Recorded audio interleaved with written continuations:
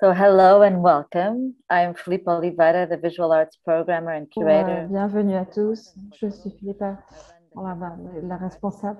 Je suis responsable de Curtin Art Center et de la Galerie. Je suis l'un des membres du comité de, de, pilotage de cette première édition de l'Assemblée européenne des arts des centres d'art contemporain, qui est organisée par le Réseau national français pour les centres d'art contemporain. la réunion aura lieu en anglais et en français. Vous pouvez choisir votre canal en, menu du bas pour accéder à la traduction simultanée. Vous pouvez poser vos questions dans l'onglet questions-réponses qui se trouve euh, juste en bas. Évitez de poser les questions dans le chat, mais juste dans l'onglet dédié aux questions-réponses. Les questions peuvent être écrites en anglais ou en français pendant toute la séance et donc être envoyées à tous les intervenants. Elles seront donc traitées par la modératrice, la Géraldine Courbe, pendant la session questions-réponses avec euh, le public, euh, ces questions-réponses sont prévues vers les 17h30, 17h40 jusqu'à 18h. Donc, c'est un grand plaisir pour moi d'ouvrir la dernière réunion en ligne de la première Assemblée européenne des centres d'art contemporain. Depuis 2015, les relations se sont développées à travers l'Europe entre les institutions d'art en partageant des valeurs communes, des problèmes communs. Grâce à cette reconnaissance mutuelle qui est né le désir de rassembler les personnes en lançant tout un ensemble de discussions euh, régulièrement et des discussions collectives ouvertes à tous pour le public, mais aussi pour les professionnels de l'art sur des problèmes qui touchent nos vies quotidiennes au-delà de la diversité du contexte et des problèmes connus dans nos structures. Initialement conçu euh, sous la forme d'une réunion de deux jours à Paris en mai 2020 sur le problème de l'inégalité de genre dans les institutions d'art et donc reporté suite à la pandémie, eh bien, c'est une, édition inaugurale est maintenant en ligne. Cette pandémie a intensifié toutes les formes d'inégalité et de discrimination. Du coup, il est d'autant plus nécessaire de parler de ces problèmes au sein de notre écosystème d'art. À cette fin, nous avons invité des professionnels de l'art, des artistes, des curateurs, des commissaires, des critiques, des responsables d'institutions, des intellectuels et des chercheurs pour parler ensemble et partager des idées d'inspiration à travers quatre réunions en ligne. Des approches féministes multiples et des pratiques multiples de la sphère culturelle seront abordées ou ont déjà été abordées pendant ces quatre réunions.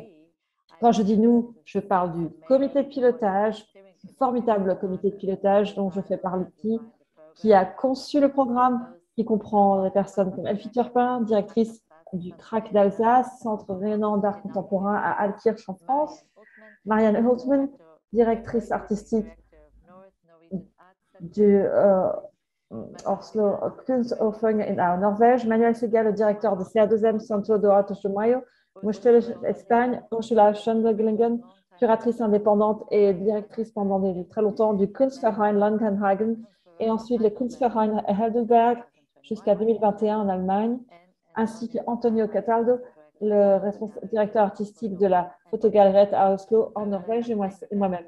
J'aimerais les remercier pour leur euh, longue implication dans ce projet et d'avoir partagé cette opportunité, un long partenariat, ainsi que j'aimerais remercier l'équipe du DCA pour l'organisation des réunions, Marie Chenel, Chloé Moneron, Eleni Panteras et Eugénie Parent. Cet événement en ligne n'aurait pas pu se faire sans le soutien du ministère de la Culture français, l'Institut français et la Fondation, des artistes. Son événement de clôture physique qui, avait qui est prévu pour l'automne 2022 permettra de bénéficier du support spécifique de la mission RSO menée par Agnès Salle et au ministère de la Culture. Nous aimerions la remercier du fond du cœur, ainsi que Delphine Fournier, François Quintin, Simon André de Concha, Isabelle Delamont au ministère. Marie-Cécile Bernichon, Giuseppe Neller, Adeline Blanchard à l'Institut français et Laurence Peignet à la Fondation des artistes. On aimerait aussi remarquer, euh, pardon, remercier nos partenaires, le réseau ADKV en Allemagne, le réseau des, des centres d'art de Norvège, Kunsthalle et Norge, et les institutions artistiques, Photogalerie et à Oslo, Oslo Kunstforening, CA2M en Espagne et Casa la en, en Portugal. Vous pouvez retrouver toutes les informations sur le site internet www.europeanartassembly.org, conçu par la graphiste Lorraine Furter, euh, qui se trouve à Bruxelles, qui est spécialisée dans la conception éditoriale, la publication hybride et le ex-féminisme intersectionnel. L'identité visuelle a été conçue grâce à Laurie Richard. Les, lettrines, enfin les, caractères sur ce site ont été conçus par euh, le collectif Bye Bye Binary, Clara Sambot et Angela Miners. La session sera enregistrée et sera postée sur le site internet où vous pouvez déjà trouver les, enregistrements des trois premières Après cette longue présentation, c'est un grand plaisir de présenter la, modératrice de cette session, Géraldine est une philosophe française, critique d'art et curatrice. Elle est spécialisée dans la scène artistique du sud de la Californie, l'histoire euh, des pédagogies radicales et féministes et, et, du contre-narrateur français euh, entre 1947 et 1974. Géraldine, à vous. Merci, Philippa.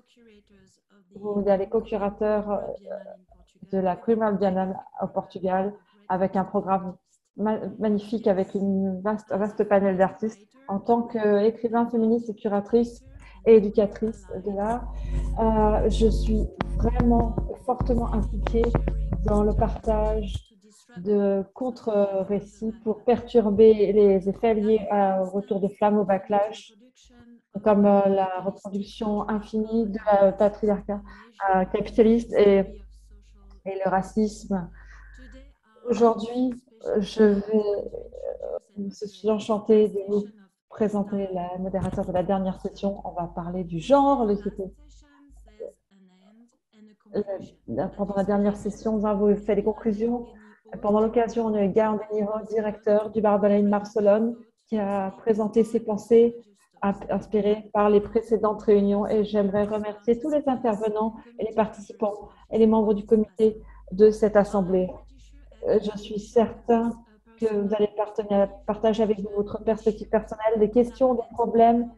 Et euh, vraiment, c'est important. Cela aura lieu vers les coups de 17h, 17h10. Avant de conclure euh, les idées inclusives des féministes et des queers et les débats associés, il est essentiel pour moi, il est essentiel pour moi de dire euh, certains éléments qui sont essentiels à ce projet nous sommes tous invités à cette assemblée pour partager ensemble nos expériences et nos analyses concernant un, effet délétère euh, auprès des féministes, des queers et des causes sociales. La plupart des centres d'art et leurs directeurs sont des femmes et une grande majorité des personnes impliquées dans les institutions d'art sont des jeunes femmes. La plupart d'entre eux ne sont pas euh, payés à juste prix et doivent lutter contre la précarité de leur propre vie et la vie des artistes, des curateurs et des critiques d'art, etc., sont logés à la même enseigne dans ces conditions. C'est devenu une obsession quotidienne de lutter contre le manque de moyens pour les autres et pour soi-même. C'est devenu un travail à temps plein de trouver d'autres moyens de prendre de gérer la fatigue et la vulnérabilité des équipes institutionnelles, des travailleurs de l'art qui sont invités à collaborer et généralement se gérer soi-même. C'est devenu difficile avec tout ça. La plupart du temps, nos collègues impliqués dans les centres d'art doivent se battre contre ces formes de précarité. En même temps, euh, les, reproduisent d'une façon involontaire. C'est peut-être conçu comme euh, un échec personnel, malgré le fait qu'il s'agisse d'un problème plutôt d'ordre structurel et contextuel. Ainsi, le comité de DCA a lancé cette Assemblée européenne pour partager nos environnements politiques, sociaux et émotionnels. Au cours de cette dernière séance, le comité de l'Assemblée et la communauté nous a demandé de transformer cette observation en évoquant euh, des alternatives possibles et personnelles qui s'agit d'une grande responsabilité pour nous. Ainsi, on va essayer de cartographier la chaîne de travail liée au centre d'art, Kunstralen, ou des, espaces où on gère l'art. Comment pouvons-nous faire de l'art différemment, sans les outils habituels, sans les formats habituels? En quoi la pédagogie de l'art, les actions d'art social, les relations au public et tout le travail quotidien de l'équipe impliquée dans le centre d'art peut-être peut s'avérer être un espace d'expérimentation différente des choses. En quoi notre utilisation de la langue et le processus de performance peut nous aider à générer une forte continuité grâce aux récits radicaux et utopiques ou essayer de générer des, des, vont perturber les choses, modifier les choses, soit aussi à travers des métaphores dans, dans un monde anthropocène euh, hyper capitaliste et dominé par le, patriarcat. Et je vais demander à Queen Latimer et Mercedes Apicia qui vont venir euh, nous parler. Queen, vous êtes euh, née en Californie, vous êtes critique et, rédactrice et vous explorez les économies féministes de l'écriture, la lecture et la production d'images. Vous avez été directrice en chef de publication de Documenta 14 à Athènes et à Kassel. Désormais, vous êtes responsable du programme de master à l'Institut Kunst Gender Nature à Basel, à Bâle, avec Choose Martinez. Et vous avez fait une formidable, très inoubliable lecture de vos textes à la Fondation Lafayette. Vous étiez invité par Madeleine Planex Hooker, Mercedes. Vous êtes une artiste de la performance, une artiste des l'art visuel et vous travaillez et vivez à Amsterdam et Buenos Aires. Vos pratiques interdisciplinaires et collaboratives a pour but de une certaine subversion par face au récit rigide euh, historique en rassemblant des caractères du passé ou des personnages du passé et du présent en laissant place aux voix dissidentes et affectives et leur permettant euh, d'émerger, de s'exprimer. Votre travail se manifeste à travers la performance et les installations sculpturelles qui associent différentes techniques. Euh, vous avez travaillé en dialogue, en, en collaboration avec la curatrice Virginie Robin. Mercedes, c'est à vous. Merci pour cette adorable euh, présentation. Donc, euh, quand on, a, quand on s'est préparé pour cette présentation euh, aujourd'hui, il était bien, clair que l'objectif était de présenter des outils pratiques et concrets pour constituer une boîte à outils collective, féministe et queer et pour travailler sur les problèmes de genre j'ai un petit peu rigolé au début quand j'ai vu ça. Ça m'a ramené un petit peu en arrière. Ça m'a rappelé une photo que j'avais de ma mère quand elle avait au début de ses dans la vingtaine. Euh, elle était sur une, euh, elle était euh, seins nus en train de repeindre euh, une maison. Elle était sur une échelle et ses cheveux étaient détassés. Elle était avec sa petite amie. Elles étaient lesbiennes et elles étaient peintres en bâtiment toutes les deux. Et c'est quand elle avait 20 euh, ans, très très jeune. Bien que cette image est un petit peu démodée euh, quelque part d'un point de vue euh, du sujet abordé, quand on parle des pratiques queer et live et du non, du non binaire, etc., et, les images.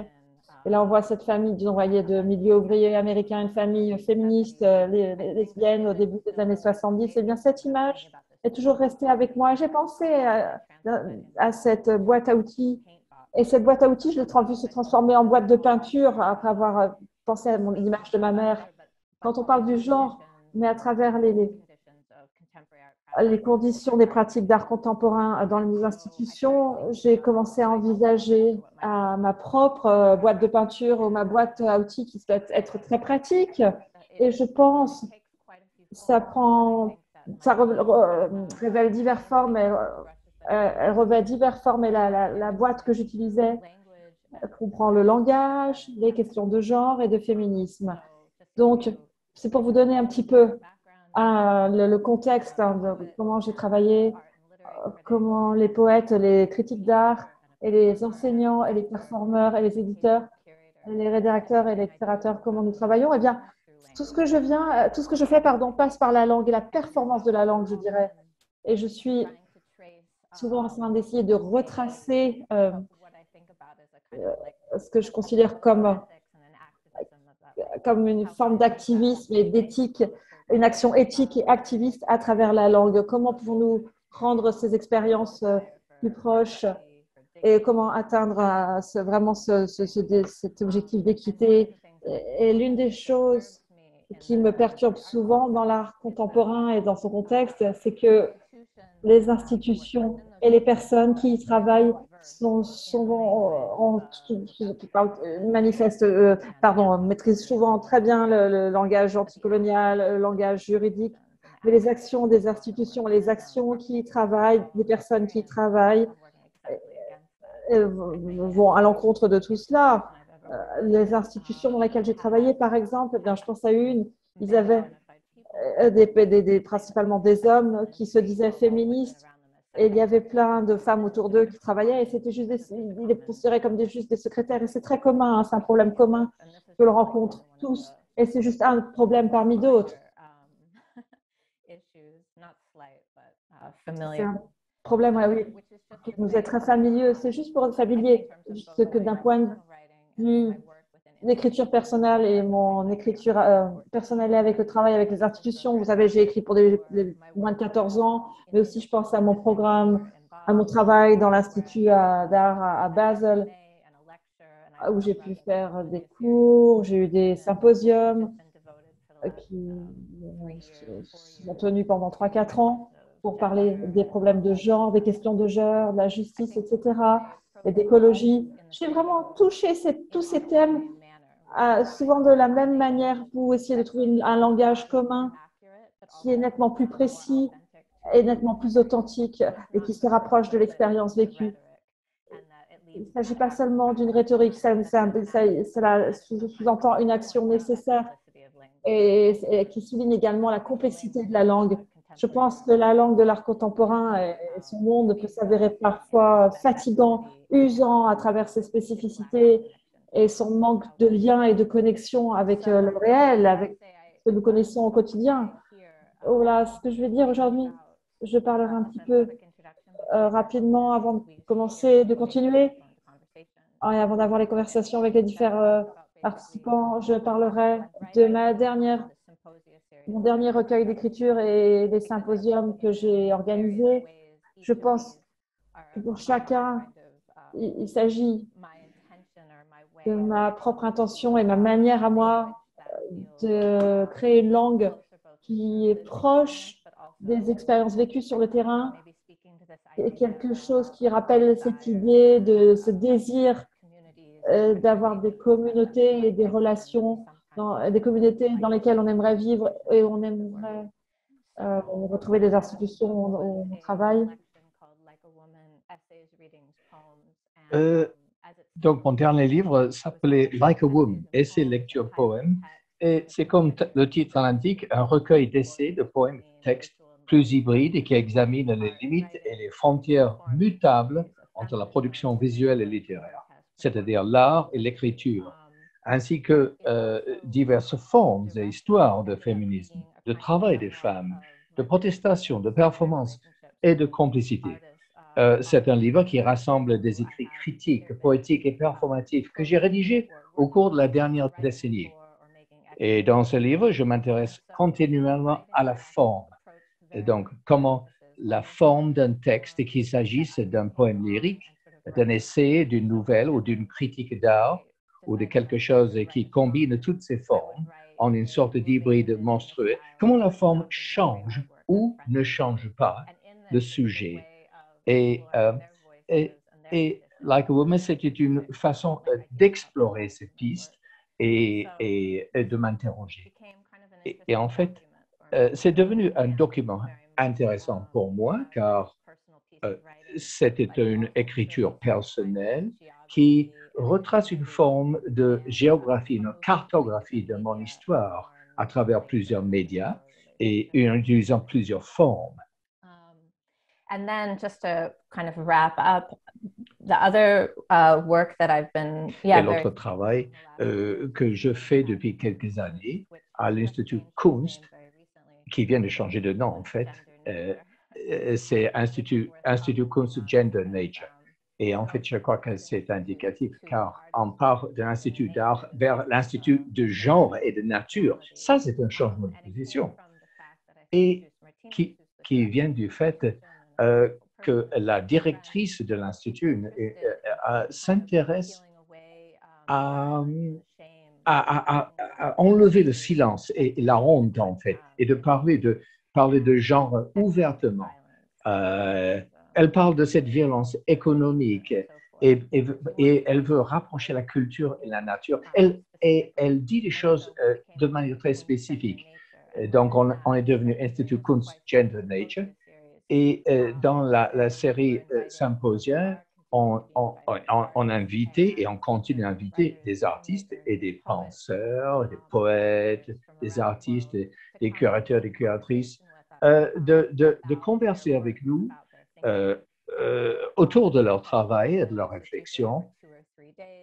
Et ce sont des séances qui durent deux ou trois jours. Et, et, et, les présentations ne sont pas simplement des, des, présentations formelles où il y a des interactions Il y, a, il y a des performances euh, qui donnent suite à des conversations et des interactions. Et donc, en fait, dans ce format, euh, c'est une façon de, travailler sur la réflexion actuelle. Et je crois que cette série, en fait, euh, a, eu un fort impact sur moi et sur ma réflexion, car ceci m'a amené à converser, à dialoguer avec tant de praticiens et d'artistes qui m'intéressent dans le travail, la vie, euh, vient d'une position radicalement différente de la mienne. Et en fait, euh, c'est presque une croyance utopique euh, euh, dans, la manière dont nous pouvons avancer par rapport à, la situation économique actuelle. Mais c'est-à-dire, on, peut faire quelque chose de différent si les conditions sont réunies. Je ne sais pas si ça c'est tout à fait spécifique à, ce débat actuel. Mais enfin, c'est la position dont je viens, en fait, ici. Euh, et donc, cette approche vers le féminisme de genre et ces questions afférentes, en fait. Ça, voilà. Euh, merci, Quinn, de cette présentation. Mercedes, maintenant, euh, peut-être quelques mots sur votre travail. Merci, Geraldine. Merci de cette présentation, en fait.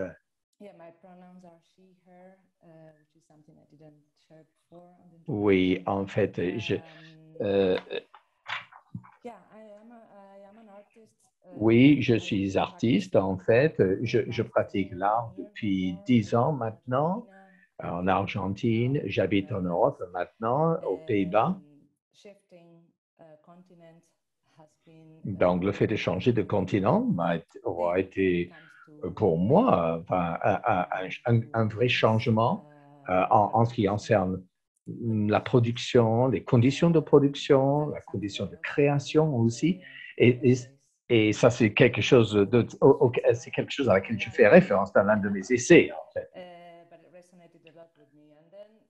Euh, je fais beaucoup de travail avec Enden. Euh, oui, j'ai étudié l'art en Argentine, mais je, ne passais pas suffisamment de temps avec les écrivains et, les maisons d'édition. Et, lorsque je suis arrivé en Europe, euh, euh, en revanche, euh, c'est là où je revendiquais cette position du poète, c'est-à-dire que de pouvoir vraiment occuper l'œil de l'écrivain. Et Euh, autrefois, il y avait peut-être une crainte de, pouvoir de s'exprimer du point de vue du jeu, moi. Euh, et on avait peur de le faire, en fait. En fait, c'était ma première impression pour moi. Et en, en tant qu'écrivaine et d'artiste. Et ça, ça, toujours, cette position a toujours sous-tendu ma pratique, en fait. Mes œuvres contiennent euh, du langage ou des, éléments euh, chantés. Et je crois que la force de l'écriture, euh, c'est non seulement cette revendication du moi, du jeu, mais, mais c'est par ce biais qu'on retrouve une voix collective, historique, fondée dans l'histoire. Et c'est peut-être lié aussi à la géographie à des généalogies.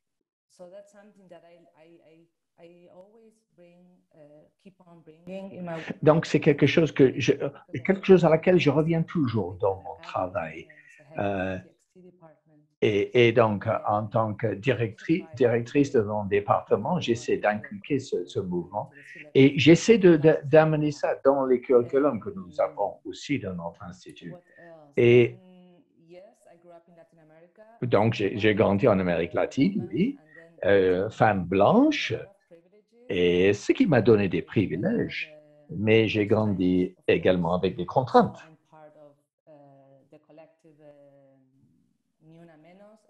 Je fais partie du Nuna Menos, le collectif Nuna Menos, et en 2015, euh, qui a été lancé avec, euh, avec une grande manifestation.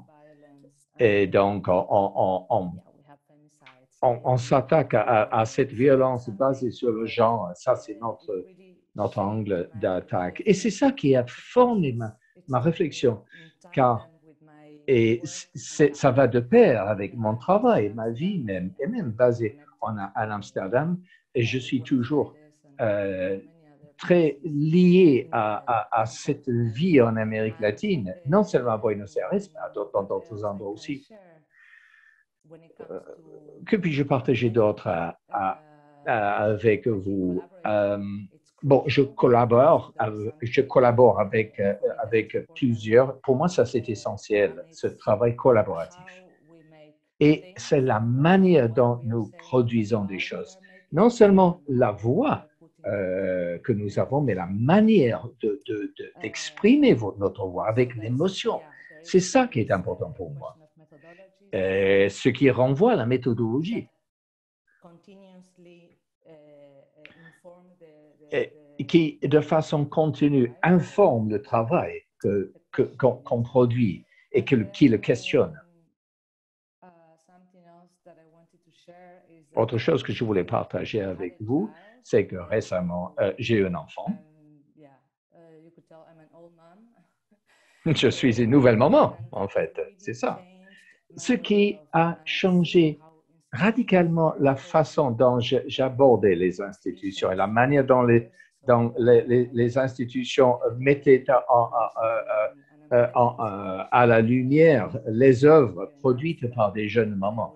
Et récemment, euh, j'ai fait partie d'un projet à Amsterdam où j'ai fait une conférence euh, en tant que jeune maman euh, j'ai parlé donc du travail domestique, euh, ce que ça euh, le, le, travail féministe, le, travail au ménage, le et, et, le fait d'allaiter. Et, et, juste après ça, il a fallu allaiter en présence des autres. Et, on m'a foutu dehors du musée car on, on, m'a considéré obscène. je, mettais les visiteurs mal à l'aise, paraît-il. C'est un parfait exemple dans comment le discours, en fait, euh, euh, ne correspond pas vraiment à, ce qu'on voit, la réalité, en fait. Et donc, euh, pour moi, c'est une question clé en ce moment. Comment, comment puis-je puis incorporer ces éléments dans mon travail? Évidemment, je travaille avec euh, mon bébé juste à côté de moi. Je peux peut-être l'entendre, il va peut-être pleurer. Donc, je dois intégrer ce paramètre euh, dans mon travail. Et euh, j'essaie d'amener dans mes projets ce, fait que nous devons parler de nos besoins. Est-ce, que nos besoins sont-ils respectés et remplis ou non? Merci d'avoir partagé notre, votre expérience personnelle en tant que personne performance euh, euh, politique. Et je me souviens la dernière fois quand on a parlé avec Queen et Mercedes, on a parlé de, du besoin de créer des mots dont on ne voulait plus entendre. C'est peut-être la première étape euh, de, cette création de cette boîte d'outils.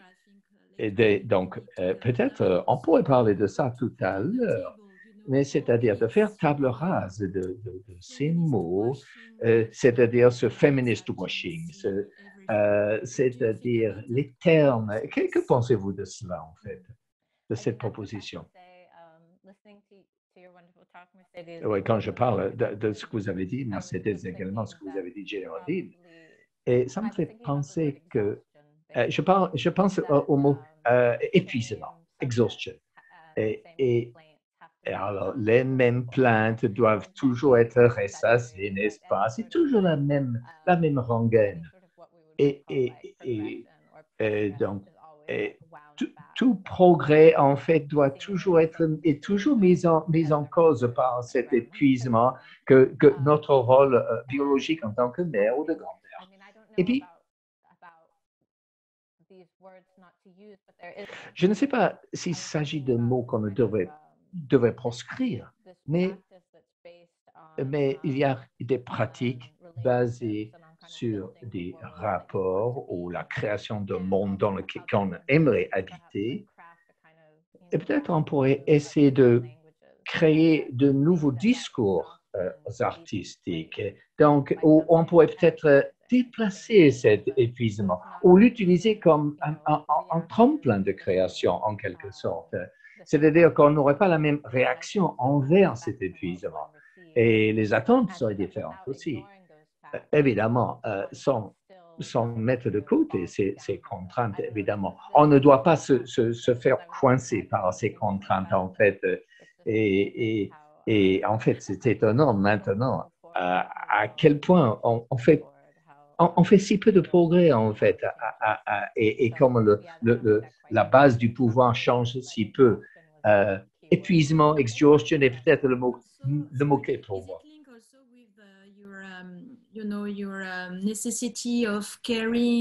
Ça serait lié à, à ce besoin de, de, de, de, faire du care euh, euh, au sein d'une économie féministe. Est-ce qu'on peut lier ça, le concept du care? Oui, peut-être, oui, c'est de l'autre côté de la pièce, en fait. Um, um, créer une communauté de relations, c'est-à-dire une communauté de famille qui, qui, crée cette énergie et qui crée une forme de réciprocité du cœur. Uh, même, même si ce mot est, est parfois litigieux, mais mais en fait, pour moi, ça serait ça. Et en fait, je, je, je dépends tellement des gens avec qui je travaille, euh, sur lesquels j'écris, car ça m'aide à produire mon propre travail. Et ce, et ce sont ces cartographies de relations euh, euh, euh, nous informent, informent nos langages, informent nos discours et créent de nouveaux environnements vers lesquels nous pouvons nous diriger. Et euh, au sein du monde institutionnel, je, je, je, pense, et ça peut être amené un meilleur monde. Oui, Mercedes, en fait, c'est-à-dire faire face à, cette, à, à, à, à, ce monde institutionnel et parlant de cet épuisement exhaustionnel et comme disait Quinn, en fait, vous, vous avez parlé de cette nécessité de revenir à, à, à, à cet état émotionnel, être plus conscient de la sensualité, de la physicalité. Vous allez parler de, vous parlez de jouissance, euh, la jouissance du corps, euh, qui peut créer de nouveaux espaces d'attention. Oui, oui, tout à fait. En fait, hein, c'est ça que j'aime euh, quand, quand je lis la poésie, en fait. Hein, vous, vous, vous lisez, vous méditez, vous réfléchissez et vous, vous, vous arrivez à un état d'attention totale et qui, qui euh, fait défaut dans la plupart euh, de nos activités quotidienne, que ce soit au travail ou dans d'autres sphères d'activité. Euh,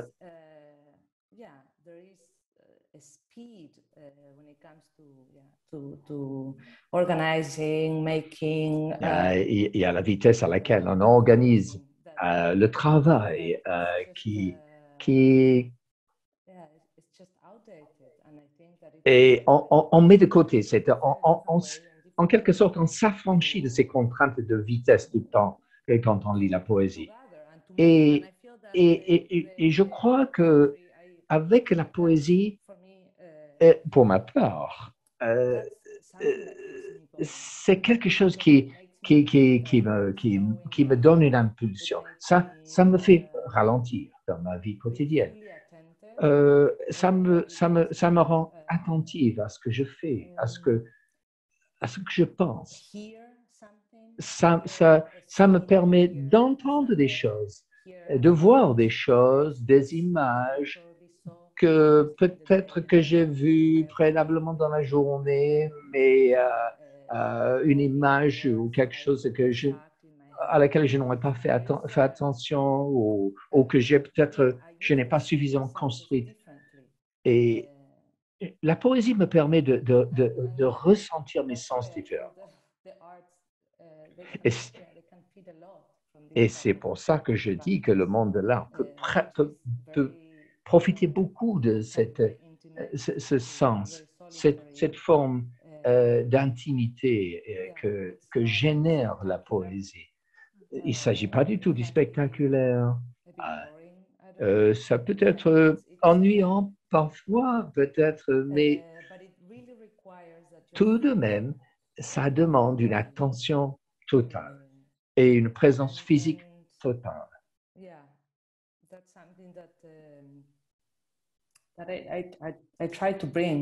Et ça, c'est quelque chose que j'essaie de, recréer, ce sentiment, ce ressentiment euh, tous les jours. Vous faites Oui, oui, je le fais. Oui, j'essaie d'inculquer ça avec, euh, avec mes étudiants aussi, euh, avec les gens avec qui je travaille. Euh, oui, je coordonne la création de textes, mais au sein de mon département. Euh,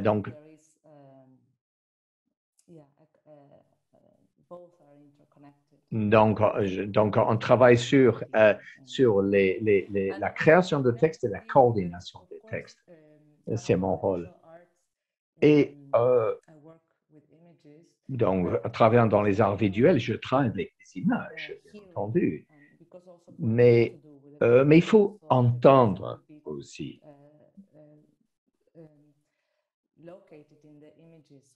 Hum, donc, voix et image vont intimement ensemble. Donc, qu'est-ce que j'entends dans une image? Je peux entendre quelque chose dans une image, mais on, on, donc on parle souvent d'image, mais on parle d'institutions euh, d'art, de centres d'art.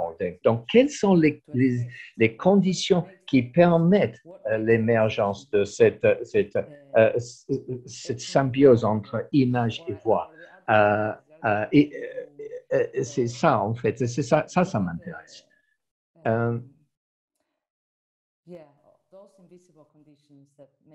donc, voilà. Quelles sont les conditions oui. qui permettent cette éclosion? Oui, on parle de cette éclosion. On parle, oui, on parlait de, de, la, de, de, le fait de la proximité des étudiants. Il fallait être très proche euh, des étudiants à la production de nouveaux textes. Puisqu'elle part de là, donc elle doit être très proche des étudiants et les étudiants doivent se retrouver dans un cercle très proche les uns des autres.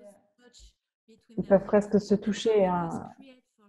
Est-ce que ça va créer un nouveau format pour Chris Cross, un nouveau format de lecture pour euh, jouer un texte et aussi pour écouter Queen.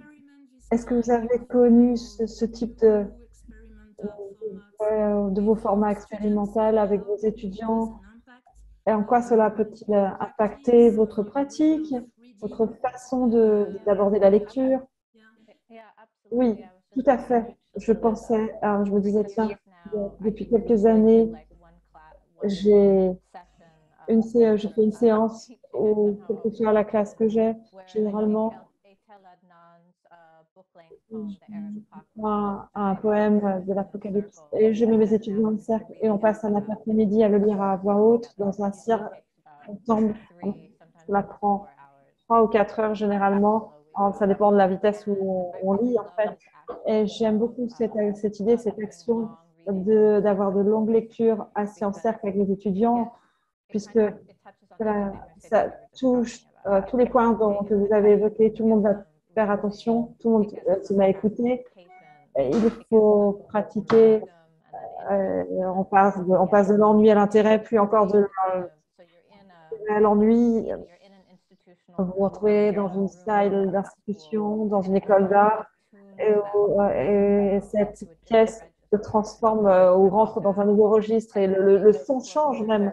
Et cela nous permet de nous rapprocher d'un espace, une sorte d'intimité, une sorte de virtuosité, une appréciation euh, qui n'était peut-être pas là quand les étudiants sont arrivés pour la première fois, mais seulement grâce à cette expérience de, lecture un peu d'endurance, hein, de long terme, d'un poème incroyable, d'un poète ou d'un penseur, euh, d'un artiste. Et je pense que si on parle d'outils pratiques, je pense que la lecture en cercle, lire de la, poète, la poésie en cercle, un poème en cercle, il n'y a rien de tel. Genre, on sort toujours très euh, plein d'énergie et rajeuni et ça me donne un de boost. C'est la même chose pour mes étudiants et ils se sentent complètement emportés et ça, les, ça les scie complètement. Quoi. Ils n'en reviennent, reviennent pas. Donc, je, je pense que cette expérience, je l'ai répétée plusieurs fois et c'est vraiment quelque chose de très beau. C'est une belle action, je dois dire. Est-ce que toutes les deux, que vous avez des exemples par rapport à ce, ce genre d'expérience que vous avez eu avec vos étudiants? Est-ce que vous pensez que ça peut avoir un impact sur votre travail en tant qu'artiste euh, au sein de l'institution, au sein de l'Institut d'art? Ah, c'est une question, Géraldine? Oui, c'est une question. Je ne sais pas si c'est une question pour moi. C'est pour vous deux. Euh, oui. L'une des idées qu'on m'a partagées auparavant, c'était celle qui avait trait au travail et interconnecté. Et ma pratique artistique se nourrit d'expérience en tant que pédagogue et vice-versa aussi. Hein. Euh, tout à l'heure, je l'ai dit, je l'ai dit un peu plus tôt. Travailler avec, à travers différentes méthodologies, c'est important. J'enseigne la méthodologie à l'école. C'est quelque chose qui s'avère être la partie la plus importante de ma pratique d'enseignante. Savoir le comment on le fait, quelles sont les éthiques, l'éthique qui se cache derrière tout ça. Et quand on met en place une exposition ou un projet sur le long terme, ou tu en as un partenariat avec une institution, je trouve que c'est très important de créer des ateliers pour que les institutions d'enseignement se retrouvent dans l'espace euh, d'exposition et vice-versa aussi, bien sûr. Oui, les étudiants, les enseignants informent, euh, nourrissent le texte the project. Qui va naître le projet. Il y a toujours plein de poèmes. Il y a toujours des chants, des chansons, la langue est toujours présente. Et oui, c'est vraiment devenu une approche collective, complètement empreinte de différentes choses euh, pour obtenir ce processus créatif. Oui, je pense que j'ai vécu la même expérience quelque part, on essaye de modéliser quelque chose pour les étudiants, quelque chose d'ordre politique, éthique également, à travers la pratique euh, que vous leur enseignez, et également auprès des artistes. Et donc, on nourrit les uns des autres en même temps. Je propose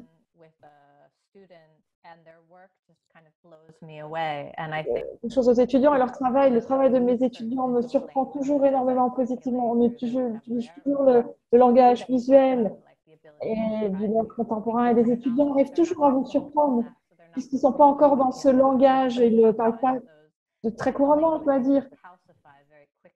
Et cette langue, c'est un peu falsifié quelque part. Et eux, ils sont spontanés. souvent, ils m'inspirent beaucoup quand je m'éloigne de cela que je me retrouve auprès de mes étudiants, j'en à des étudiants qui ne sont pas forcément très jeunes.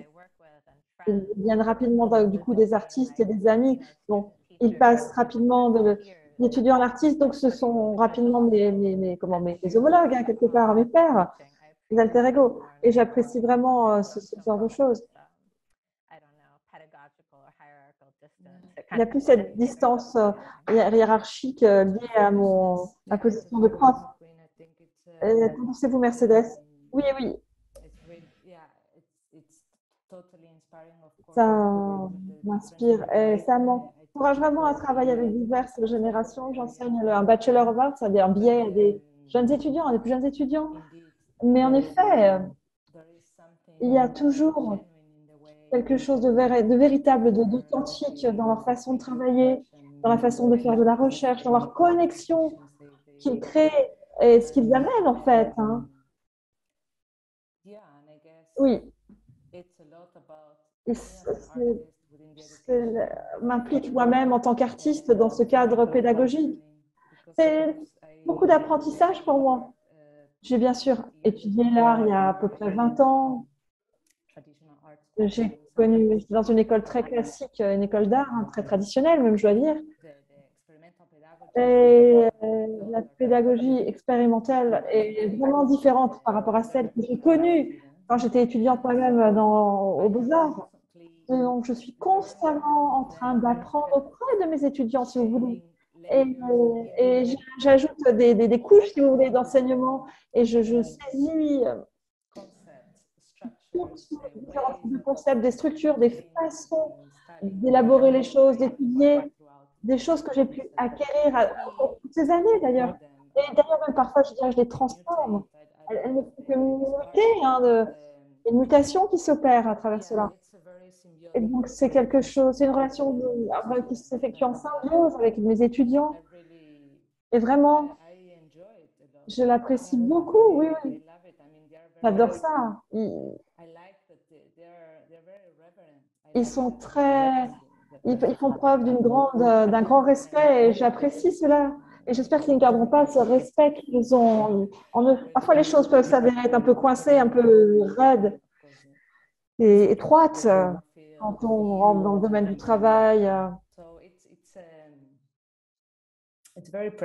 Donc, c'est quelque chose de très précieux, je dois dire. Et, aussi, on s'amuse beaucoup. Hein. Une autre idée que j'aimerais partager avec vous concerne la question de la bouche. Quand on parle de la langue, on, parle, on aime aussi parler de la notion de performance de la langue, la, notion politique qui s'y rattache. Et parfois, cela s'avère très abstrait et très théorique. Et quand on expérimente, comme on le fait actuellement, quand on expérimente des choses, la notion de lecture, lire à haute voix, un texte, on peut vraiment ressentir la chair, le mouvement de la chair quand on quand on prononce les mots, quand ils sortent de notre bouche. Et c'est quelque chose qui se transmet beaucoup. C'est quelque chose de contagieux un petit peu. Et c'est quelque chose que l'on aime partager avec les étudiants, avec un public. Je ne sais pas comment vous vous sentez par rapport à cette idée d'avoir toutes ces littératures, ces poésies, ces poèmes que vous faites passer par votre bouche. Non, euh, ouais, je ne sais pas. Cela soulève pas mal de choses. Ça me fait penser à. Je ne me souviens pas exactement de la, pièce de Samuel Beckett. On voit juste la, bouche qui passe dans un rideau. Et c'est un peu grotesque comme image, le rendu. Vraiment, on voit juste les dents, les lèvres. Périlabial, il y a un côté très sexuel aussi très cannibale. Et c'est très drôle aussi à la fois.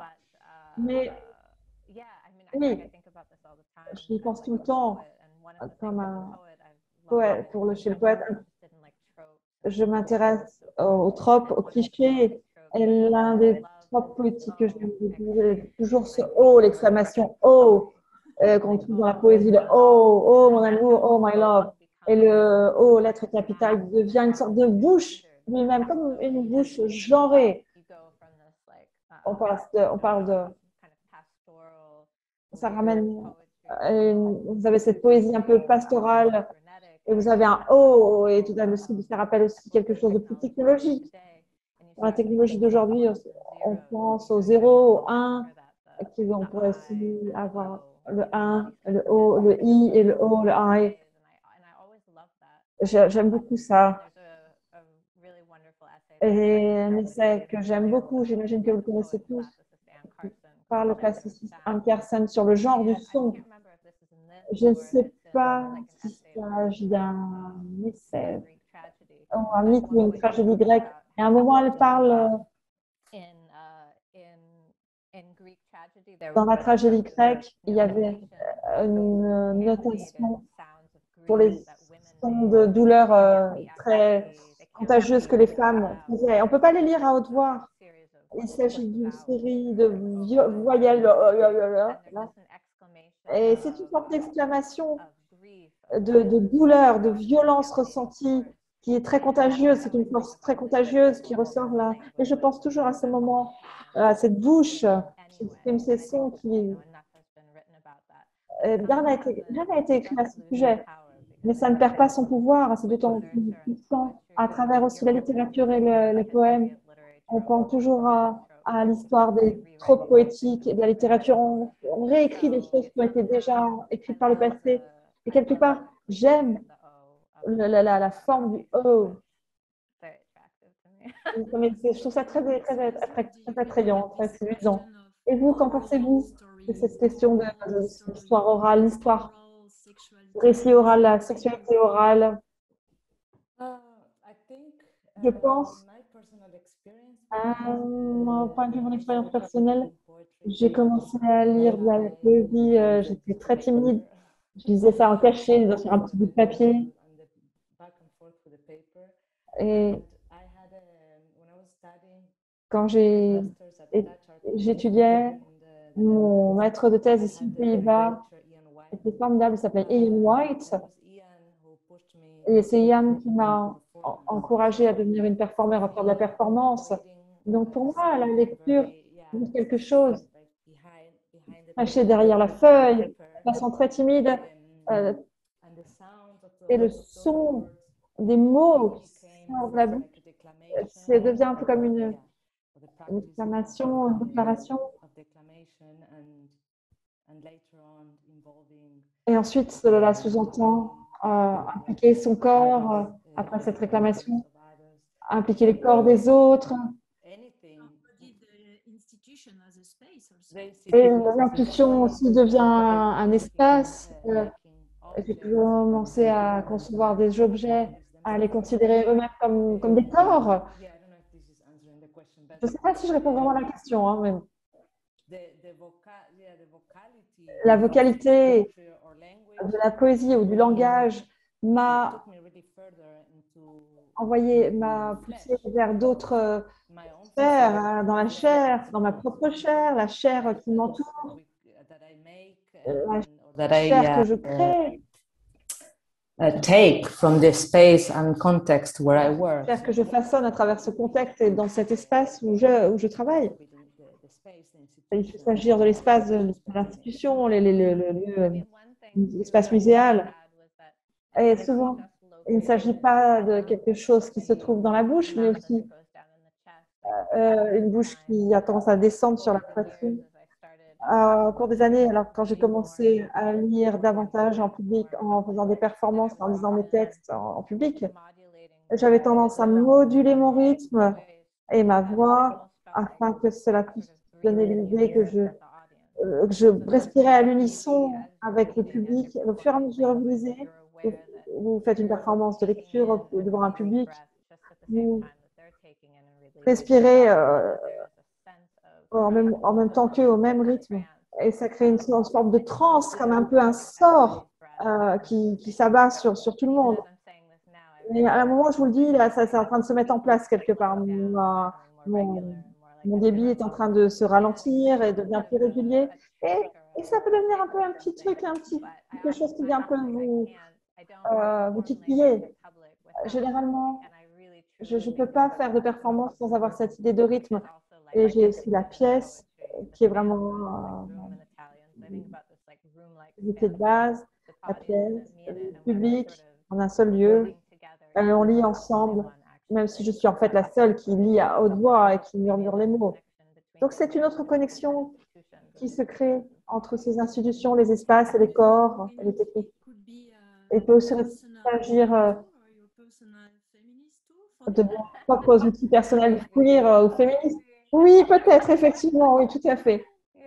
Oui, c'est un petit peu. euh, il y a cette technique euh, où j'avais un membre de ma famille qui était un travailleur social, qui travaillait souvent avec des personnes qui avaient des problèmes de santé mentale et parfois ces personnes étaient très nerveuses.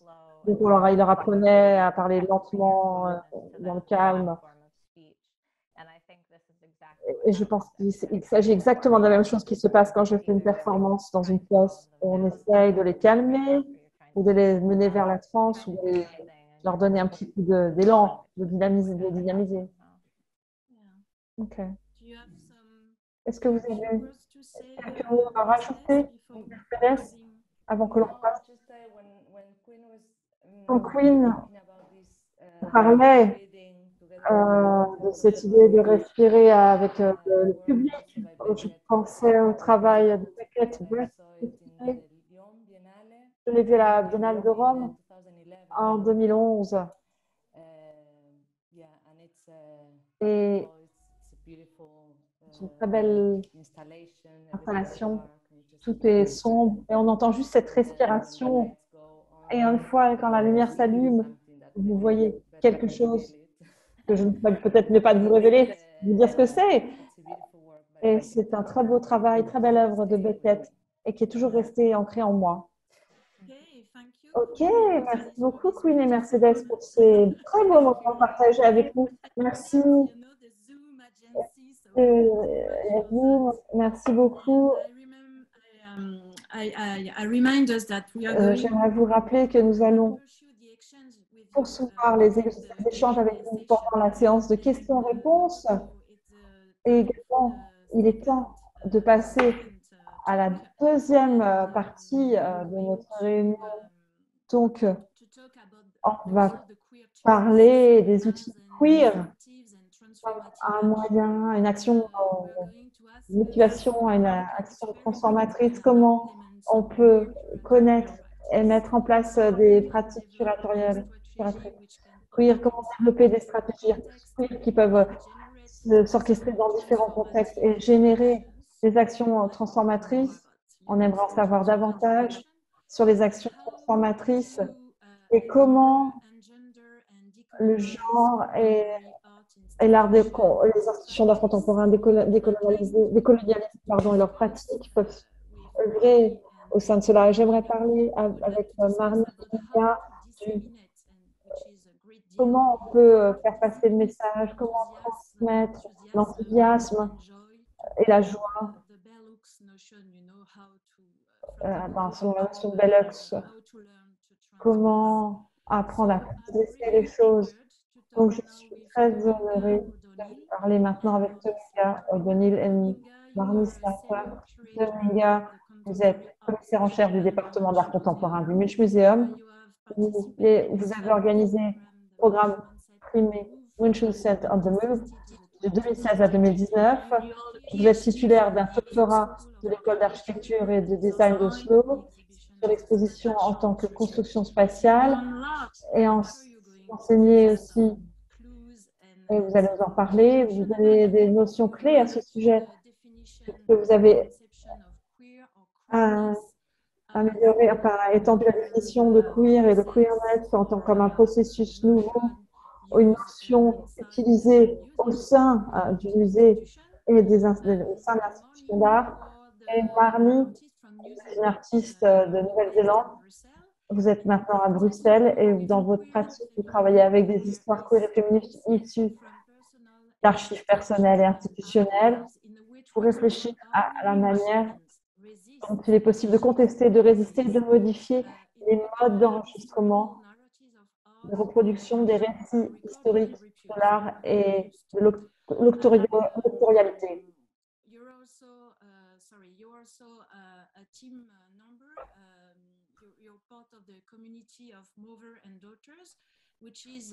Euh, donc, vous, vous faites partie des Mothers and Daughters, c'est euh, un groupe trans et lesbienne, vous allez parler de cette expérience. Et euh, comme nous toutes, euh, vous, êtes enseignant euh, dans votre institution. Donc, euh, c'est un grand plaisir pour moi de vous présenter maintenant. et vous avez la parole. I feel very uh, humbled and um, uh, amazed to be in this Ah, pour moi, je, je me sens honoré et, et- et franchement, euh, avec tant de- d'autres gens puissants, j'utilise le mot puissant, évidemment, euh, Uh, de manière avisée. Je m'appelle Marnie. Et je, je travaille à Oteo en Nouvelle-Zélande et je suis, euh, euh, euh, je suis une femme lesbienne genre non conformante et, euh, et je vais parler de mon expérience, expérience, ma pratique collaborative. Je travaille en solo aussi, mais aujourd'hui, je vais parler de deux collaborations féministes queer euh, qui, euh, qui ont été très centrales dans un travail que je fais à Antwerp, à Anvers, où euh, nous, recherchons, nous essayons de créer des outils et, de, et, des stratégies pour la collaboration. C'est un projet et qui est vraiment porté sur des processus et la manière dont nous travaillons ensemble et comment nous pouvons euh, activer euh, euh, des approches queer et féministes à travers nos pratiques.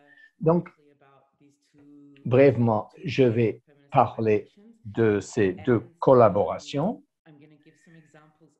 et puis je vais donner des exemples concrets d'outils que nous utilisons ou, du moins ce que j'ai créé ou activé au sein de ces collaborations. Donc, le premier que je voudrais évoquer, c'est Bonus Tempos euh, International. Il s'agit d'une collaboration entre moi et Castille, euh, qui est curatrice espagnole. Bonus Tempos a commencé en 2014 euh, en tant qu'espace en ligne et à Bruxelles euh, est, est né ce besoin en fait euh, urgent de créer cet espace à, Bruxelles et de créer cet espace euh,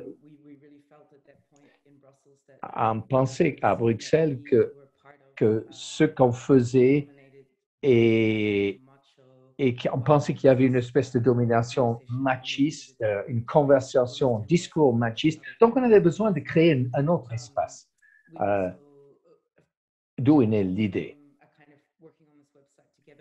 Donc, en travaillant sur ce site web avec des pratiques euh, curatoriales, nous avons produit des œuvres ensemble, nous avons créé des événements et en ce moment, on expérimente avec quelque chose de nouveau.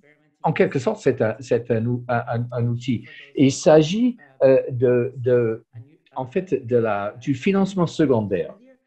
Euh, Peut-être vous connaissez ce système. Le financement euh, secondaire, c'est-à-dire qu'on on- on demande, on demande des financements et puis, et, et, donc on, fait, on lance un appel ouvert et puis on prend ce financement pour euh, ensuite financer de manière secondaire euh, euh, des, des sous-traitances.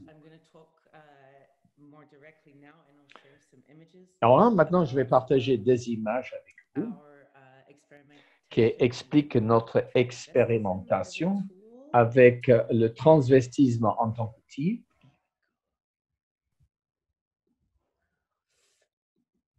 So, um, uh, this image here is uh, of me um, in Barcelona. Euh, um, Vous me voyez à Mapa, à, à- Bruxelles, et je suis en train de, de, de, de- de recréer Béatrix Ruff, euh, qui était curatrice, euh, euh, directrice du musée à Amsterdam.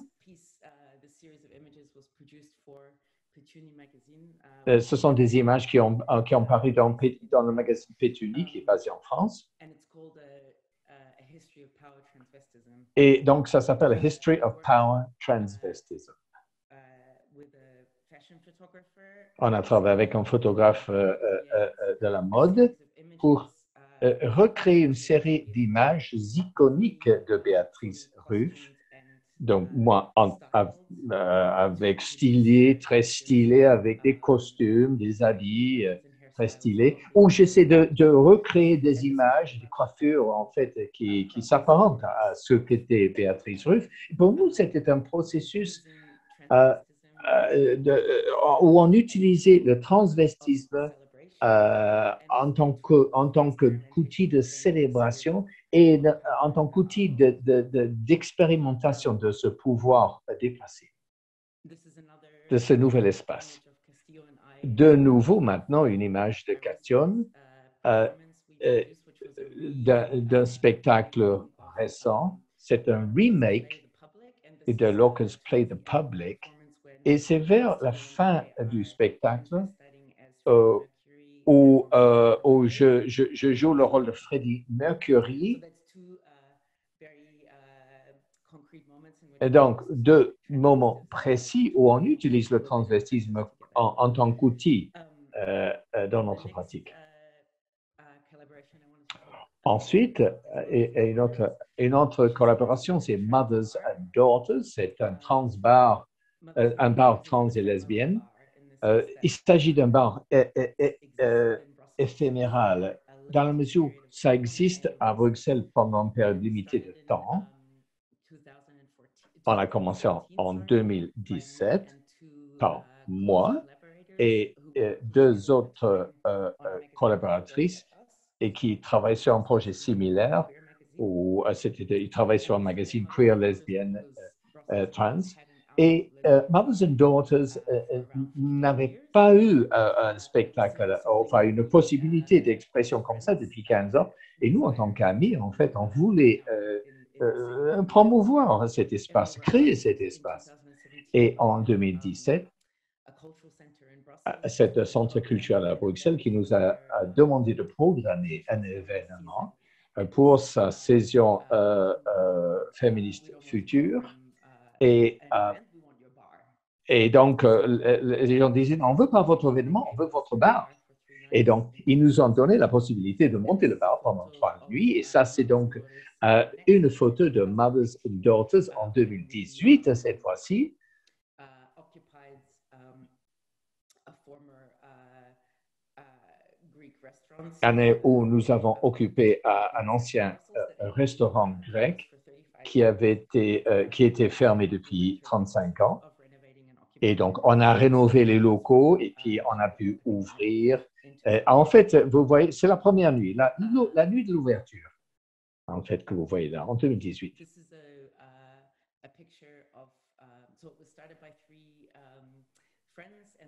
Donc, ça a été commencé, comme je vous l'ai dit, par trois amis. Et ça, c'est maintenant l'équipe en 2019 maintenant. Et on- donc, euh, depuis, on a eu une autre photo, malgré le Covid, on a une, on a une nouvelle photo de famille depuis. Euh, et donc, c'est vrai que vous pouvez peut-être reconnaître un certain nombre de visages ici. This is a tool um, that we used, that Mothers and Daughters developed.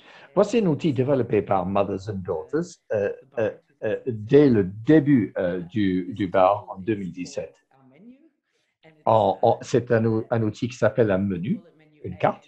On l'appelle carte menu A, menu B. Vous êtes en train de regarder le menu A. Et donc, le menu est exactement le même des deux côtés, sauf que les prix sont différents. Donc, menu A, c'est un certain prix, donc, et le B, euh, le prix est plus élevé par le pourcentage de la différence du gender gap, la, la- la faille entre les, la, la différence entre les genres. Et en fait, en, en- en Belgique, vous avez une différence entre les rémunérations des femmes et des hommes. Et donc, on a, on a essayé de, de recréer ceci comme, euh, euh, comme une espèce de revendication politique. Donc, vous voyez la différence, différence de prix entre menu A et menu B. Donc, euh, et puis, ce, ce gender gap, ce gap, il change d'année en année, mais en 2018, euh, si je me souviens bien, c'était de 24 Donc, le menu B était de 24 plus cher que le menu A. Et lorsque vous vous présentez au bar et vous voulez donc commander une, une boisson, une, une consommation, on vous demande est-ce que vous voulez euh, commander avec le menu A ou le menu B? There's a, on the top of the menu, you can see the two uh, small boxes. Euh, euh, et, et donc, vous voyez les deux euh, boîtes, en, les encarts qui expliquent le fonctionnement de ces deux menus. Et, uh, et- et même si c'est basé sur le gender gap, en fait, euh, on, invite aux, aux- clients de juste de réfléchir à, à- à ce que c'est le, ce qui sous-tend ce menu, cet outil, en fait.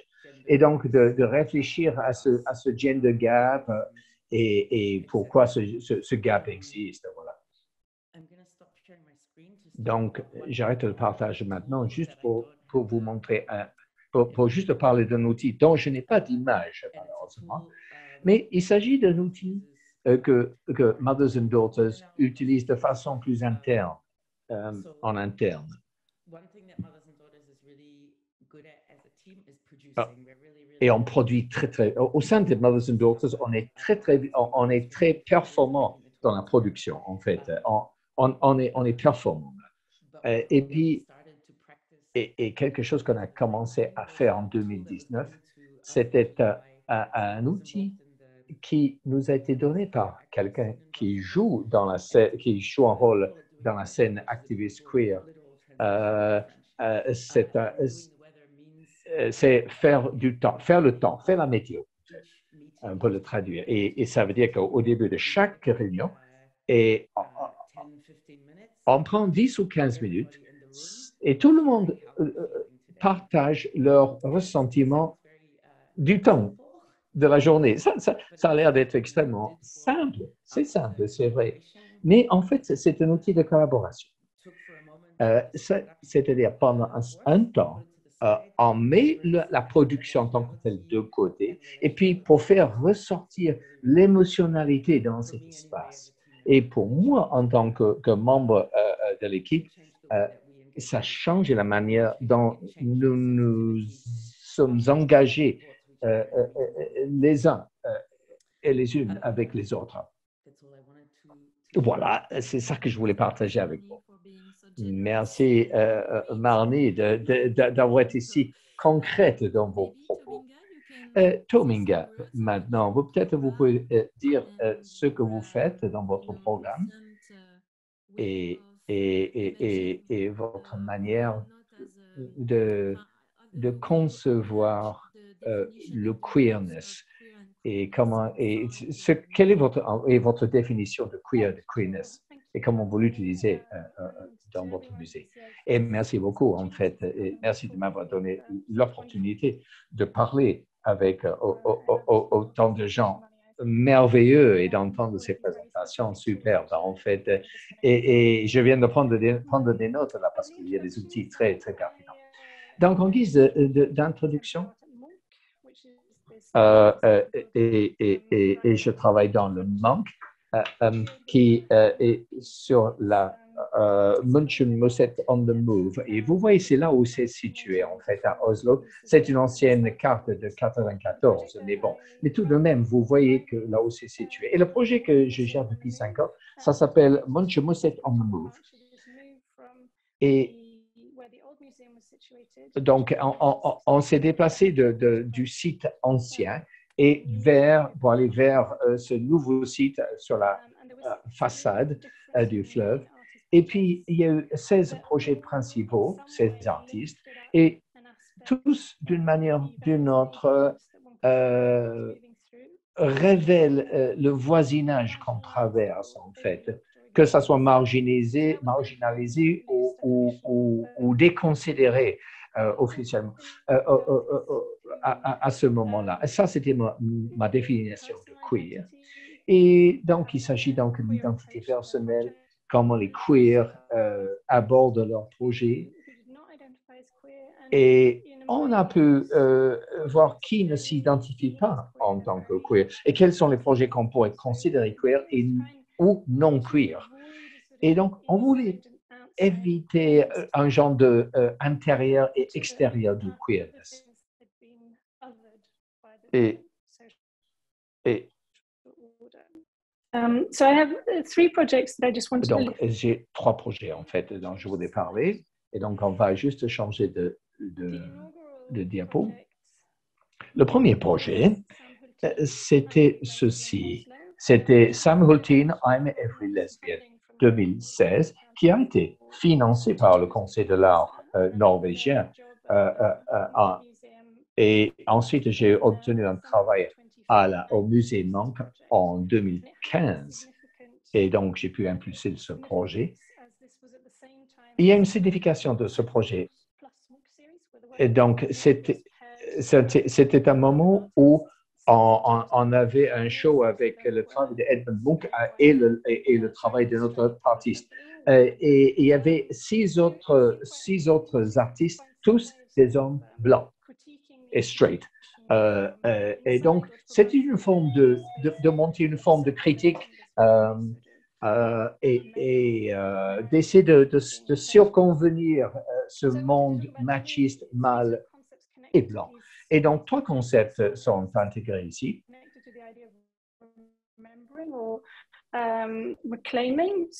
Vous avez une revendication ici. Donc, euh, donc, j'ai cherché des discours euh, sociétaux ici. et, les, et, je les ai fait euh, raconter d'une nouvelle manière devant la mairie d'Oslo de par une, une conteuse professionnelle. Et donc, ça, c'est le premier discours pendant euh, le, Oslo Pride, et c'était énorme. En fait, il y a presque trop de monde pour créer une, une forme d'intimité, mais ça s'est passé le, le, le, lendemain de l'ouverture euh, euh, de, de, cet espace. Donc, c'était important de, de, de, bondir, rebondir sur l'impulsion de l'ouverture et d'occuper un espace au, au, au, milieu de la vie. Et c'était un moment approprié de, pour s'unir. Et, et, euh, et, en fait, on a eu une tragédie, justement, une, une, il y avait une attaque terroriste, justement, la veille. Et c'était également une manière euh, pour les participants et les participantes de, de, de, de s'unir et de, et, de se réconforter, en fait. Et, et donc, de sortir de des cafés, des bars, de leur domicile pour pouvoir se réunir. Prochaine diapo. Voici le concept de la célébration, de la joie. Et, et, et, et euh, donc, donc c'est un, un, un, un projet qui s'appelle Perch. Euh, euh, euh, oui, maintenant, prochaine. Ils ont créé une performance qu'on le retrouvait le long du Bru, dans le vieil Oslo, à Oslo. Et là, ils ont utilisé différents types de, euh, bâtiments qui n'étaient pas forcément des espaces artistiques. Et le vieux peuple qui s'appelait Elvage Clou, à Ben, où là, ils ont pu faire performance. Je ne pense pas c'est s'agisse en fait d'une coïncidence. Puis fasse euh, donc une référence à, euh, voilà, à, un auteur euh, ses écrits. Et aussi pour utiliser d'autres espaces et les espaces théâtraux. Alors, on peut parler de la fierté qui est cooptée, qui est quelque part commercialisée. Et il est important de se rendre compte qu'il s'agit d'une expression originelle de la joie et de la fête. Et enfin, le dernier projet qui a été présenté le 16, un, cab un cabaret film par Kirsten Struck et Maria Bordoff qui s'appelle Nuit d'été à la plage, euh, inspiré d'une peinture d'Edouard Munch. Donc, c'est un extrait du film, un, groupe de cuddly queers on voit des images du nouveau musée dans papier bâché euh, dans le fond, dans le décor du fond. C'est un cabaret film. C'est un cabaret qui existe, qui, est très présent euh, au début des années 1900 et été réimaginé dans le futur. Donc il y a ce sentiment, cet élément d'histoire que l'on retrouve dans le, dans le, projet à, travers donc, différentes collections historiques que l'on retrouve autour de ceux qui ont survécu à ce désastre climatique qui est décrit dans le film chez Queer, que l'on retrouve donc sur cette plage. Et maintenant, on peut arrêter le partage. Donc, je pense que l'idée de se souvenir, euh, célébrer, faire la fête et spéculer, il s'agit de trois points que je souhaitais soulever euh, dans notre conversation d'aujourd'hui. Euh, tout à l'heure, j'écoutais c'était Queen et Mercedes et Marnie et je ne savais pas vraiment où démarrer. Donc, euh, je me suis un peu désolée. Je vais, je passer la parole. Je n'ai pas de questions pour vous. Merci de nous avoir donné cette brève euh, présentation très claire. Je sais pas que c'est facile hein, comme exercice. Je sais que c'est pas facile comme exercice, surtout quand on est dans une plateforme virtuelle. Mais j'ai une question pour vous concernant le fait qu'on leur appartient à une communauté queer et euh, en quoi cela vous donne une forme de d'endurance, une vision et euh, quoi cela vous donne une certaine confiance également dans la façon de continuer au sein même du, institutions d'art mainstream au grand public. Si vous vouliez dire quelques mots à ce sujet, j'ai trouvé ça, trouvé ça très pertinent la dernière fois que nous avons eu la conversation. C'est un point intéressant. Eh bien, Annie Shapiro, c'est les 50 ans de la décriminalisation de l'homosexualité. Ça a généré un petit peu d'argent, l'argent qui, a été donné à certains projets euh, qui parlent de, des queer et certaines institutions qui ne travaillaient pas sur ce domaine ont essayé euh, d'être queer pour juste 2022 par contre. Et je pense que quelque part, je pense que je suis dans une situation privilégiée puisque je fais déjà partie euh, de cette communauté, pas dans toutes les communautés queer, mais je fais partie de quelques communautés. Euh, je suis très ouverte à, par rapport aux autres communautés queer qui se sont développées au cours des dernières années. Cela me permet, de façon très concrète, avec le projet de Saint-Martin, ça me permet d'avoir un réseau pour qu'ils puissent avoir leur, ces conversations et savoir euh, où est leur point de départ. Et ce projet euh, est vraiment passé par le bouche à oreille. On revient à l'idée de bouche encore, hein. voir comment cette recherche s'est construite. si je ne faisais pas partie de ces communautés, je ne saurais pas où démarrer. Je démarrerais avec une organisation plus classique. Et le, le mot confiance est bien approprié. To think that one might Mais je suis pas suddenly be parce que c'est parfois très facile de penser ok je suis dans une situation privilégiée je représente cette communauté et je il faut bien que je l'envisage comme une communauté multiple une multitude de communautés conscience du, du passage de curateur euh, sur un contrat à court terme pendant trois ans travailler sur le projet et ressortir de l'institution et que se passe-t-il quand on, fait partie de l'institution On devient un représentant de cette immense musée qui se trouve sur les bords de la rivière. Donc, il faut qu'il y ait un, un tournant qui s'opère. Et comment je me perçois, moi, dans, travers ce poste et les responsabilités que cela implique. Et ce n'est pas encore simple hein, parce que nous avons ouvert, n'avons ouvert qu'en octobre. C'est pour ça que vous avez une notion assez générale euh, qui est cette notion d'enthousiasme, comme un processus plutôt qu'une valeur. Est-ce que vous pourriez parler de ça, puisque nous avons eu un débat sur les, dans les clashs en, France, en Belgique, euh, et j'aimerais vraiment me focaliser sur ce processus d'enthousiasme avec euh, euh, mon équipe du musée, mon équipe et le projet, et le projet et son lien avec les communautés. Peut-être que vous pourriez parler de ça un petit peu. Bien sûr.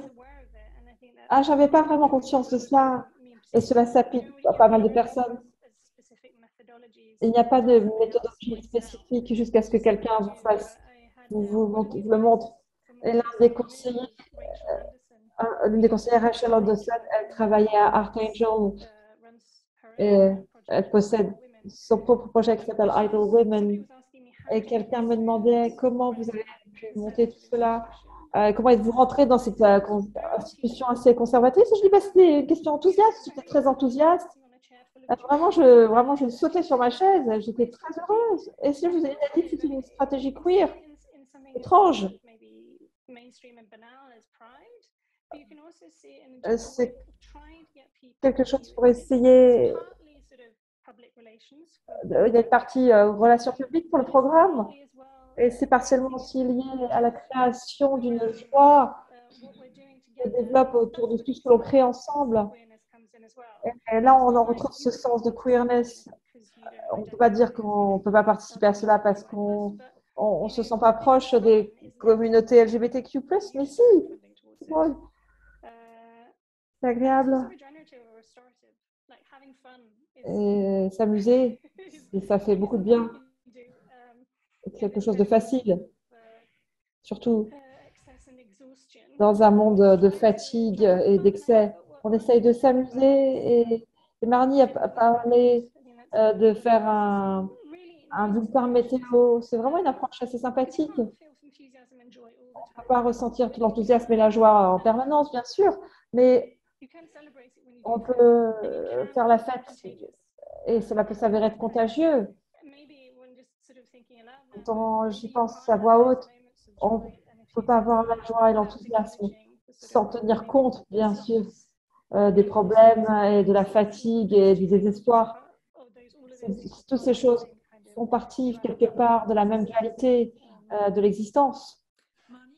Marnie, qu'est-ce que vous pensez de cette définition de l'enthousiasme comme étant un processus, mais pas vraiment une valeur, peut être perçu euh, comme euh, une injonction capitaliste. Il faut être enthousiaste, il faut être heureux, il faut être dans cette euh, idée de, de, de, faire les choses soi-même, de se construire sa propre bonheur. Quelle est la différence entre l'utilisation de l'enthousiasme en tant que processus et, et non en tant que valeur? C'est quelque chose de différent. Je pensais à, un collectif d'Amsterdam qui s'appelle SIA, qui est formidable. C'est un collectif pour les LGBTQR+, réfugiés, les réfugiés LGBTQR+, surtout pour les trans et les lesbiennes.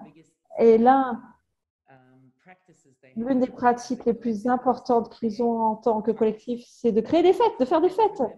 Et pour eux,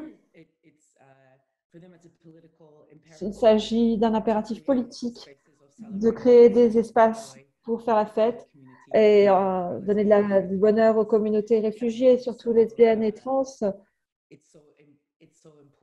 C'est tellement important et ça, ça me paraît simple et évident, euh, surtout en tant que personne dans, dans les minorités.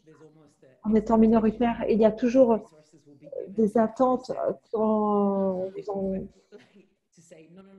on va, vous envoyer des ressources.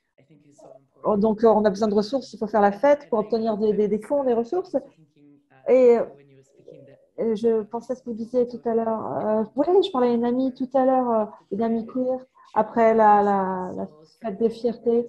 Elle me rappelle quelque chose que la fierté, c'est une forme de résistance à, à la police ça peut être considéré comme une contradiction, mais ce n'est pas le cas, ce n'est pas une contradiction. Quand vous parlez ensemble, vous avez parlé de la définition, vous avez utilisé la définition, la définition de queer, je l'ai beaucoup apprécié. Pour vous, queer, c'est plus un processus. Encore une fois de plus, c'est la notion de processus. Il s'agit moins d'une question de représentation. Pretty girl, est-ce que vous pourriez en dire un peu plus par rapport à cette euh, définition euh, personnelle? Um, I was thinking, uh, je me disais, je réfléchissais, je une partie de ma frustration euh, avec la représentation, c'est comme un but, une fin en soi, surtout dans des contextes institutionnels où on suppose que les institutions euh, euh, ne, sont, que des façades. On travaille qu'avec la, face de l'institution. En fait, une institution a également, n'a pas seulement un visage, il y a une architecture, des, os, la chair, des muscles, de l'argent, des processus qui se cachent derrière ce visage. Et, et, rejeter la représentation comme une fin en soi, c'est en fait demander quelque chose nettement plus transformatif au niveau de l'institution, transformatif euh, du point de vue queer et féministe, c'est-à-dire demander quelque chose qui va au-delà de la représentation, And so in, in that sense, I think Et par cela, je pense que les attentes de queer, euh, le queer euh, dans mon propre processus personnel à travers mon propre travail et les collaborations que j'ai avec d'autres personnes et aussi par rapport à ce que mes relations avec les espaces institutionnels queer est une exigence envers un, par rapport à l'engagement pour la transformation et ça ne s'arrête pas au niveau du visage. Je sais, c'est un peu abstrait ce que je dis. I have also the feeling, you know, J'ai listening aussi l'impression en vous écoutant, Et en regardant vos présentations, la notion de faire un- créer des documents actuellement, euh, envisager les documents, préparer les documents avant l'événement, ça constitue quelque part des archives. Euh, par exemple, le l'ensemble des photos pour le bar lesbien et trans, c'est quelque chose d'essentiel à la fois dans la pratique, mais cela peut s'avérer également essentiel euh, pour euh, notre euh, boîte à outils magique. Pour les documents, très important. J'ai créé un petit livret pour chaque projet et je remets tout dans une petite boîte qui est devenue un petit monument au fur et à mesure que les projets ont avancé et aussi dans le programme curatorial. Et comme vous l'avez vu, j'ai des images de la fête et des performances puisque les artistes ont clairement expliqué qu'il fallait des documents pour étayer cela. Il fallait des preuves visuelles euh, à travers des images, des extraits de films. Euh, on ne peut pas représenter ou reproduire un sentiment.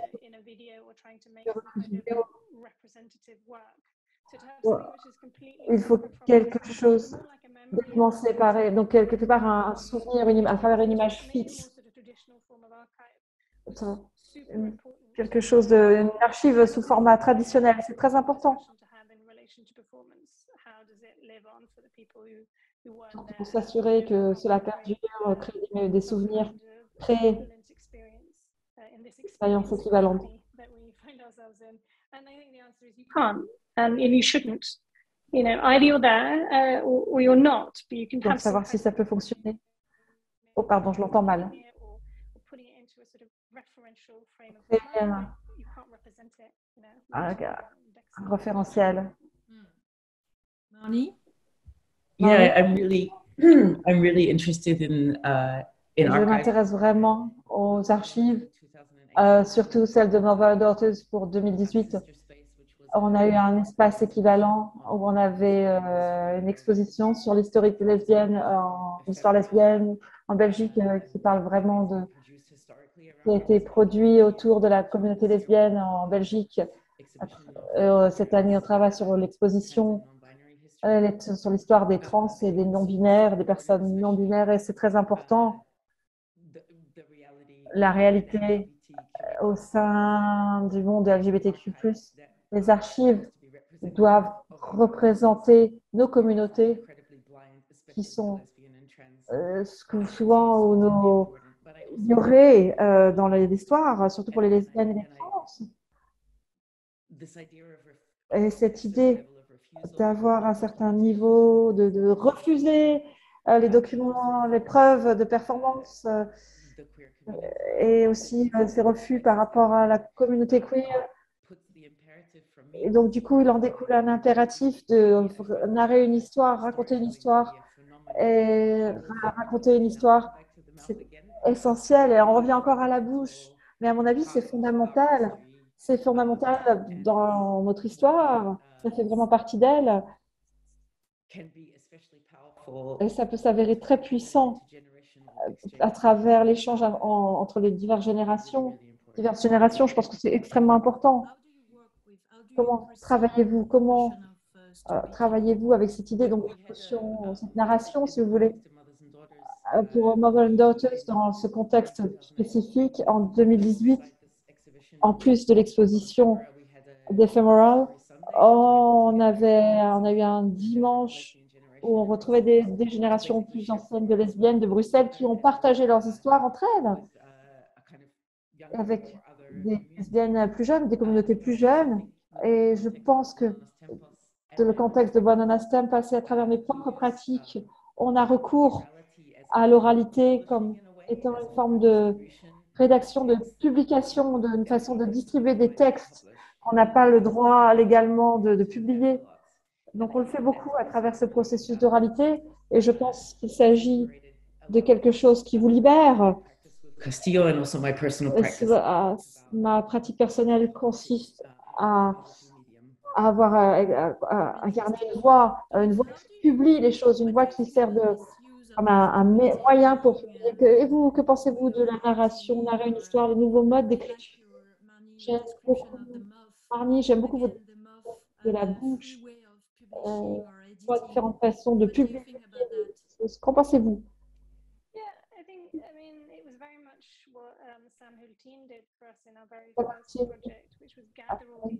C'est un projet qui rassemblait toutes ces histoires.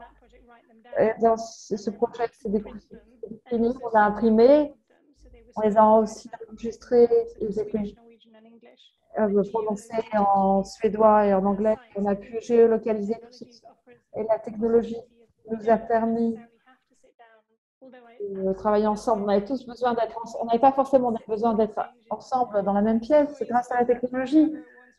Une fois, je me souviens, on a utilisé le système de géolocalisation et, j'ai entendu une histoire des années 70, une histoire qui parlait d'un rendez-vous galant euh, qu'une personne avait eu. Donc, on, peut écouter des audios, des livres audio et des podcasts et la façon de penser. Donc les choses peuvent être racontées sous des formes différentes et de façon plus accessible. Toucher les personnes différemment. Et ça fonctionne bien. Marnie, ce que vous avez décrit, si vous ne le faites pas, ces voix vont disparaître. Ces documents, ces archives sont extrêmement importants pour l'histoire personnelle et la plupart des personnes qui ont ces propres histoires, ces histoires n'en ont pas conscience. On les entend. Souvent des gens qui disent Oh, j'ai rien d'intéressant à dire. Et, et vous réalisez qu'il y a quelqu'un de très et qui a pu recueillir des récits euh, oraux à travers une certaine période de temps et on se rend compte que c'est quelque chose de fascinant et, et c'est touchant. Donc, il faut se battre contre la résistance des personnes qui se considèrent comme pas intéressantes et les, encourager. Merci beaucoup à vous deux, Torika et Mardi. C'est vraiment un plaisir de parler avec vous. On va avoir la réponse après les conclusions. Donc, restez euh, avec nous pour la suite. Euh, dans 20-25 minutes. Ok. Maintenant, on va écouter Elvira de la Yongeo. Director of the MAGBA and was uh, accepted to, to do, donc, you know, Elvira Diangane Oz va faire, donc va essayer de tirer tous les fils ensemble maintenant de tout ce que nous avons aujourd'hui. Et, et euh, va donc essayer de résumer les débats, les idées qui ont été brassées aujourd'hui. Merci. Et, merci d'avoir réalisé l'impossible et en fait de créer, de, réunir ces présentations et, et d'essayer de faire sens. Euh, euh, tout, tout, cet, tout ensemble de, de, tout ce qui a été dit, en fait.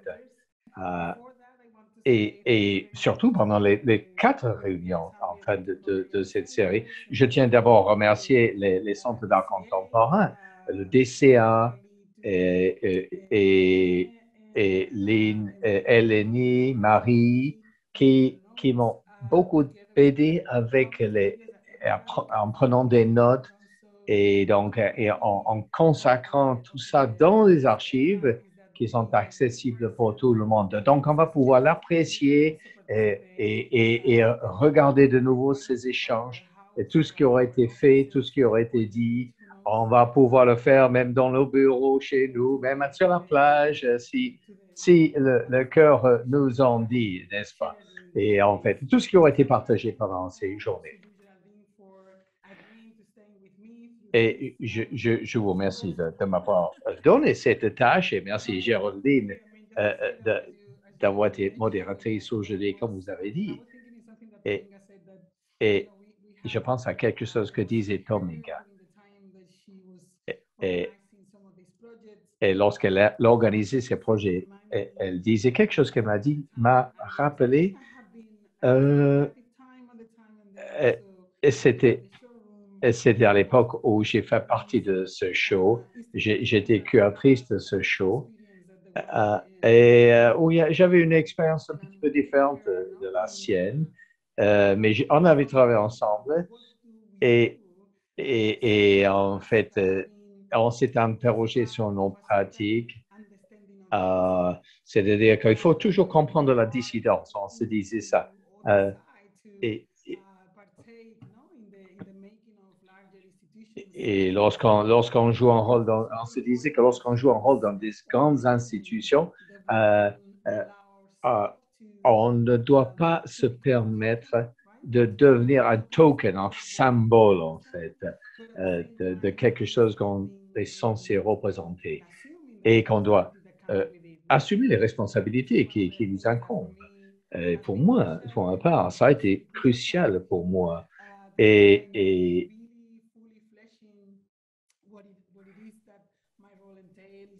Donc, cette interrogation sur ce qu'est notre rôle euh, euh, euh, dans, dans l'art contemporain. Et, et, il y a deux choses dont vous avez parlé, en fait, à, laquelle je- auxquelles je voudrais revenir. Et je pense que les- ces notes vont, euh, vont devenir peut-être un projet plus large. Euh, tout ce que nous aurons obtenu, euh, euh, euh, la, substantifique moelle qui se sera découlée de ces quatre réunions, deviendra un, un plus grand projet, à mon sens, en fait. Et, on doit se préparer pour cela.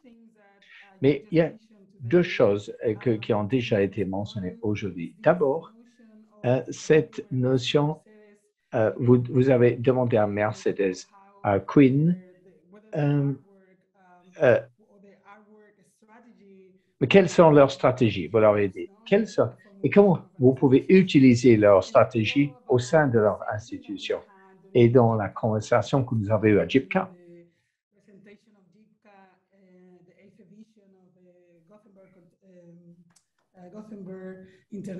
et, et, et, euh, et au Biennale de Gothenburg, qui a eu lieu à, donc à Gothenburg 2015, et, dont j'étais curatrice.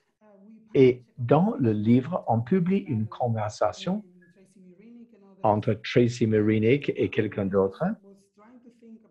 Et, et, et, et il y avait l'historien sud-africain The Deaths of Hinsa, où il dit que la critique, il, parle de la critique postcoloniale de l'apartheid. Et dans le livre, il reconceptualise euh, l'histoire et suggère euh, que, que ce rapport entre l'histoire et l'historiographie euh, euh, donne euh, un nouvel aperçu sur, la question de l'apartheid. Et, avec les conversations que nous avons eues avec Wakawana, on se disait que l'écriture de l'histoire est une manière de repenser la manière dont on écrit l'histoire. Et on, donc, et puis on peut peut-être rebondir ce que disaient Mercedes et Quinn euh, pour repenser le fonctionnement de nos institutions.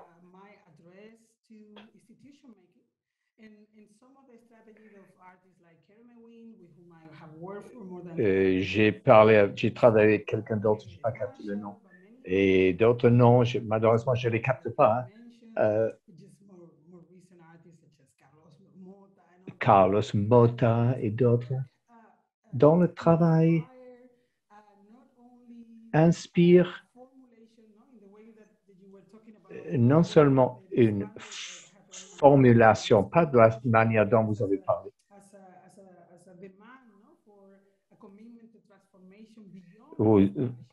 voilà, une, une, une, transformation qui va au-delà de l'établissement.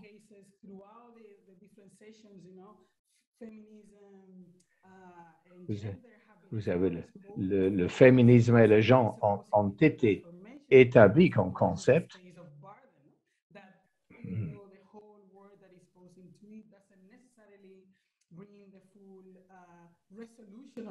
Mais ça ne donne pas une, ça ne résout pas tous les problèmes euh, euh, auxquels nous, nous, nous, devons nous engager. On a parlé de l'enthousiasme aujourd'hui.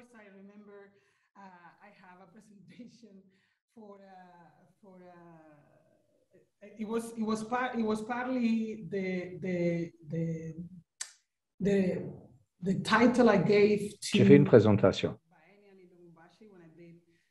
à un biennale avec un, un, un, groupe d'artistes.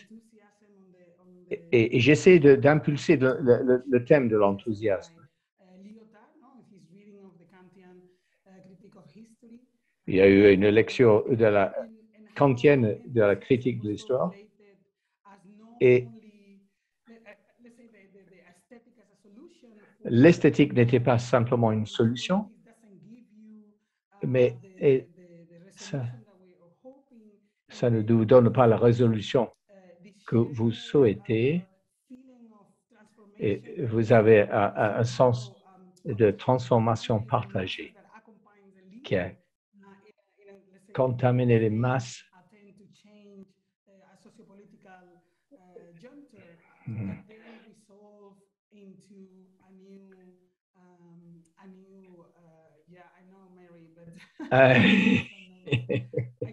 Mm. Oui, je suis désolé, je ne peux pas m'exprimer lentement assez. Oui, ma, ma, je, je, je, déborde de, ma conscience déborde en fait, quelque sorte. Oui, c'est un flux d'enthousiasme. Oui, en fait, je passe d'un sujet à l'autre. Là, c'est ma conscience passe, me fait passer d'un sujet à l'autre. Euh, et, et, attends, j'essaie de juste me, me poser. Donc, l'enthousiasme donne la possibilité de transformer l'espace. Et on doit suivre cette notion. Euh, et, cette, et, ma lecture de ça euh, c'est que nous pouvons travailler pour concilier euh, ces solutions et on peut les partager de l'extérieur c'est une nouvelle forme de connexion. Ouais, on voit ça dans les présentations de Mercedes et, en fait de tout le monde en fait. Et, ouais, je suis désolé encore, je déborde, ma conscience déborde, je saute des cocaïnes, mais oui, c'est-à-dire qu'on va au-delà, oui, c'est-à-dire ce qu'on peut. Hein. Ce qui est intéressant ici, on peut donner une forme d'agence à, à, aux masses de l'extérieur. Euh,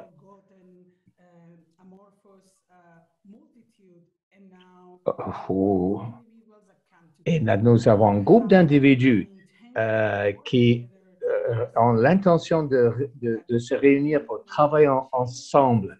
Il ne s'agit pas d'une d'une masse euh, euh, euh, indéfinie. Et on peut travailler ensemble plus qu'avant. Et,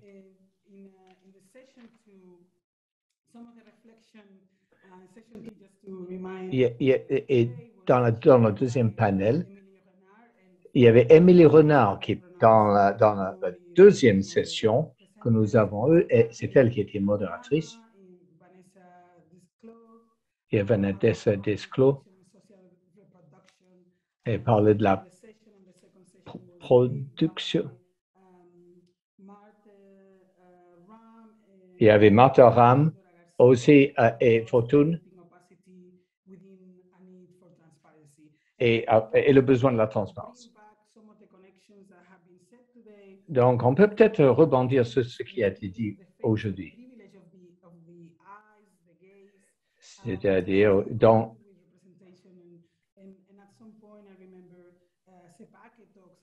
CEPAC parle des corps, les, les corps qui représentent euh, l'institution et pour pouvoir créer un espace, un espace sûr, et des espaces sûrs pour la médiation. Et c'est ça qui va au-delà euh, des yeux, mais ça, concerne le corps entier. Euh, et, et l'institution.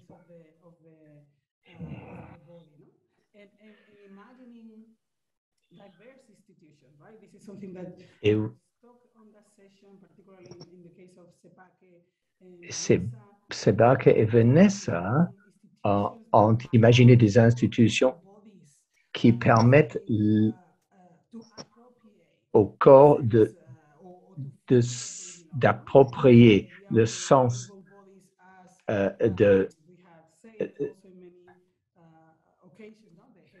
et on, a vu ça à plusieurs reprises aujourd'hui, euh, cette appropriation du corps. Euh, euh, Marnie a parlé des, des, queers, euh, cet espace pour les queers. Et il y a la voix aussi. On a parlé de la voix aujourd'hui, un espace. Et, la vue aussi, la vue étant un, sens essentiel à approprier. Et, ça, c'est une, manière féministe de, rediriger les, les, institutions. Et vous avez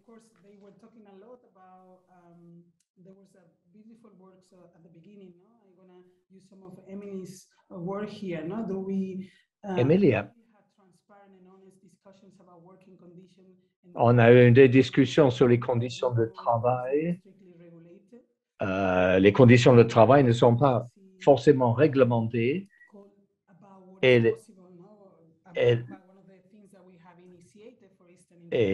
nous, avons initié donc des espaces pour euh, essayer de solutionner ces problèmes. Et vous avez une articulation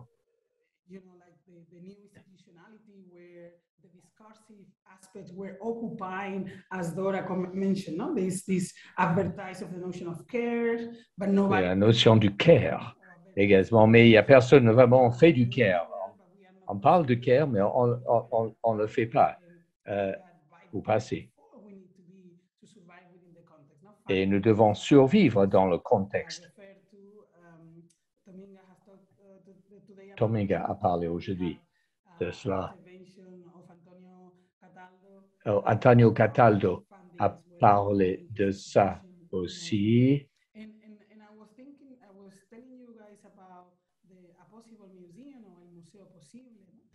Et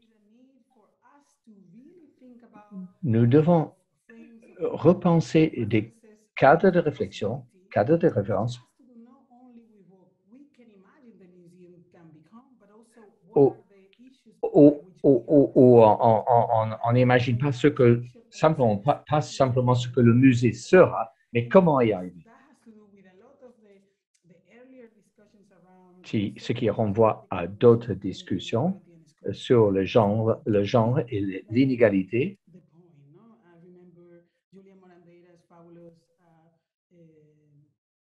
Sharing of that session between Angela Dimitraki and Elke Krasny. Angela Dimitraki et, et, et, a parlé de la généalogie euh, du travail. Wow.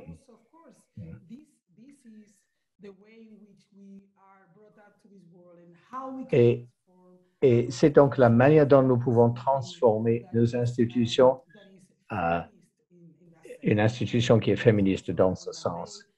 Euh, of women artists and and the and the and the um, a feminist exhibition, no? Mm. And I remember, uh, I don't know if I can do this, Xavier. Et je me souviens, je me souviens d'une proposition.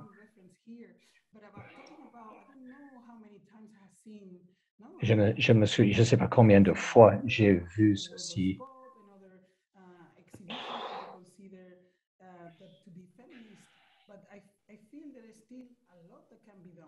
On peut toujours faire beaucoup pour créer euh, un show féministe et une institution féministe. Je me sens plus africaine que féministe. Euh, euh, parfois, il est difficile de, de, de connecter euh, entre elles certaines notions du féminisme. Parfois, je, il n'y a pas suffisamment de diversité, à mon avis, et je ne peux pas m'identifier à ça.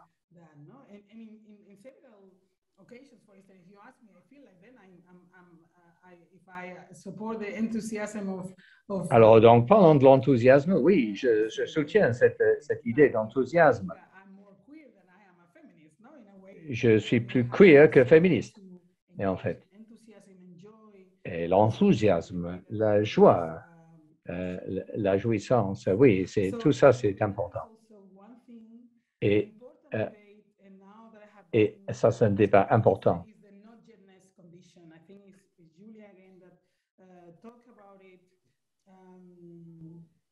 But also uh, like the practices uh, that haven't considered, and I think somebody else, I think Les uh, pratiques, euh, quelqu'un d'autre a parlé de ces pratiques. euh,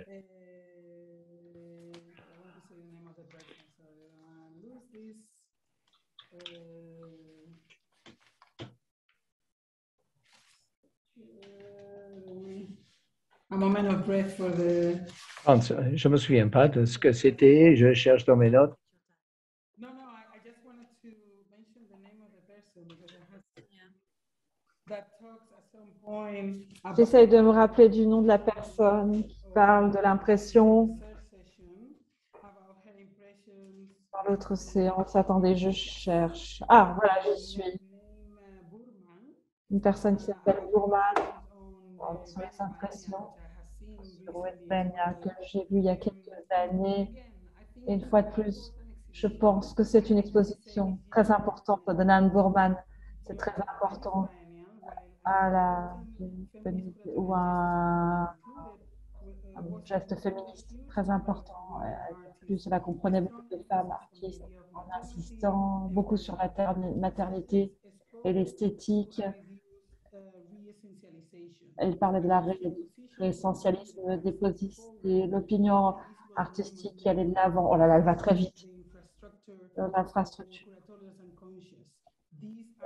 l'inconscient sont traités au niveau structurel. Et elle a raison, on va la parler très vite. L'exposition est très belle. J'ai trouvé l'installation de l'exposition, la, conception était très, vraiment, euh, comment dire, Can, can I say navigable? uh, but you can, I mean, uh, just to put your. Juste pour vous donner un peu de recul, j'ai passé six heures avec mon fils de 5 ans euh, pour- dans les deux expositions. Il m'a accompagné hein, et, il en avait ras-le-bol, hein, il en avait marre. Donc, on a pris euh, une demi-heure hein, pour le déjeuner pendant cinq ans. Euh, pendant cinq heures, j'ai j'ai pu l'emmener avec moi, mais il s'arrêtait, il regardait les choses. L'exposition était tellement bien orchestrée, euh, agencée.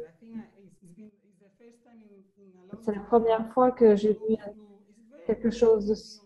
C'est très, c'est vraiment présenté comme un musée. Il y a des effets, euh, enfin des, des effets trompe-l'œil. Il y a une espèce de dramaturgie aussi dans l'exposition. Et vraiment, ils, insistaient sur certains aspects, c'était vraiment intéressant. Et c'était sur l'UFOCUS, de l'agression.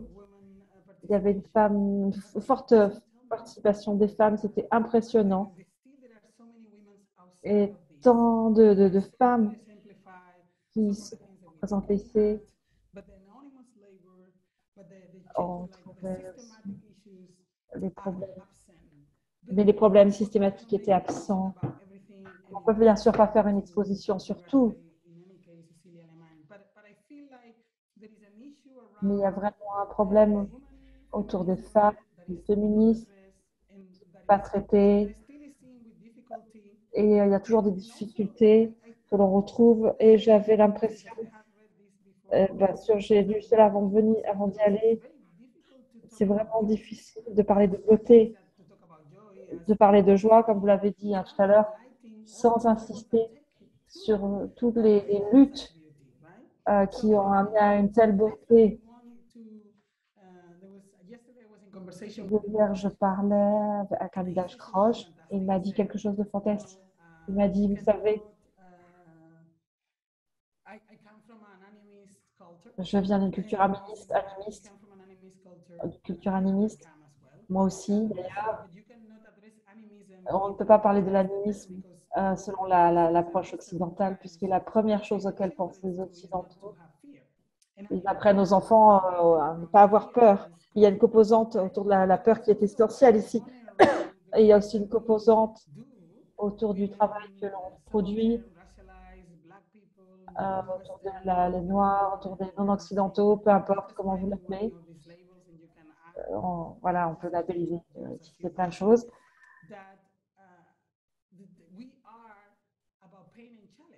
On parle de douleur et de défi, même quand il y a de la douleur et du défi, dans toutes les communautés, avec les, les travailleurs anonymes, euh, l'inconscience. Si on ne parle pas de la notion d'infrastructure, on ne peut pas parler de la beauté et elle posent les postes des personnes qui sont marginalisées. Elle parle très très vite avec un fort accent espagnol. Tous les problèmes sont des choses très très très belles, mais même les choses qui sont difficiles à vivre euh, se rapprochent parfois de la folie aussi. Il y a quelque chose qui a trait à la folie. On ne parle pas des défis douloureux. Francis Mauritius. Vous parlez toujours de défis. Mais oui, mais, mais pour moi, là, la vie, c'est un défi. Ces espaces de, de, de, de soins mis en avant sur la forme de responsabilité, de compétences, de réactivité, de moralité, de communication, de confiance et de respect qui résonne pleinement avec le secteur culturel et artistique. Et donc, il s'agit de travaux qui sont effectués par ceux qui sont racialisés, anonymisés et qui, ont des, euh, qui viennent de milieux d'immigrés. Donc, on a une conversation avec Céline Corps et Julia Pellegrini autour de la réévaluation des pratiques de soins. Et je vous recommande à tous d'y aller et lire cela. Et c'était très utile euh, dans le cadre de la recherche pour la lecture du manifeste de maintenant. Il y a aussi l'atelier qu'ils ont fait autour du soin, reprendre le soin, c'est vraiment très important. Et une autre chose qui est très importante dans le cadre du maintien des espaces institutionnels pour le soin, prendre soin des autres, c'est l'idée du musée qui incarne qui est clairement, qui se clairement dans la société. Et c'est comme demande à quelle fin? On ne pas reproduire les pouvoirs habituels, créer des espaces sans institutions politisées et sans paternalisme. Elle a posé tout un ensemble de questions qui sont d'importance euh, égale. Euh, donc, on parle de, on parle d'un cadre de possibilités, un cadre de restrictions. J'ai complètement conscience de cet espace qu'on occupe au sein d'une sphère sociopolitique et culturelle et économique et au sein d'un sentiment euh, tourné vers la pédagogie, un sentiment de reproduction culturelle de l'image. Donc, euh, nous sommes hébergés par la société et nous sommes un outil pour la société afin de faire quelque chose d'autre. Et ça, c'est un aspect critique, à mon avis, peut s'inscrire euh, dans ces conversations. Un autre problème, c'était la formulation de Ben Hooks. Ce que Ben Hooks, qui se trouve dans la classe, est ce qu'il a formulé. J'ai trouvé ça très intéressant pour observer qui se retrouve dans l'institution et en quoi la conversation s'avère nécessaire?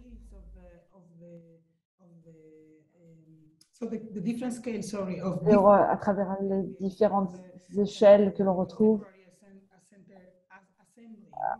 l'assemblage contemporain essentiel.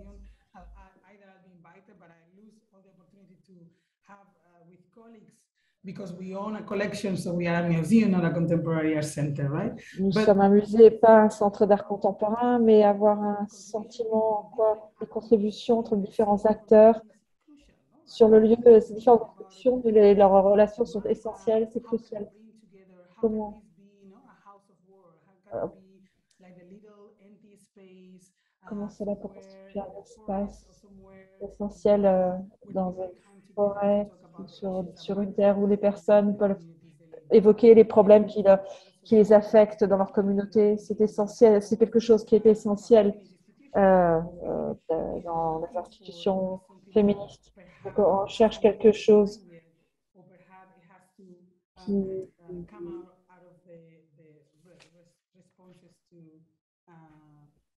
qui permet de répondre à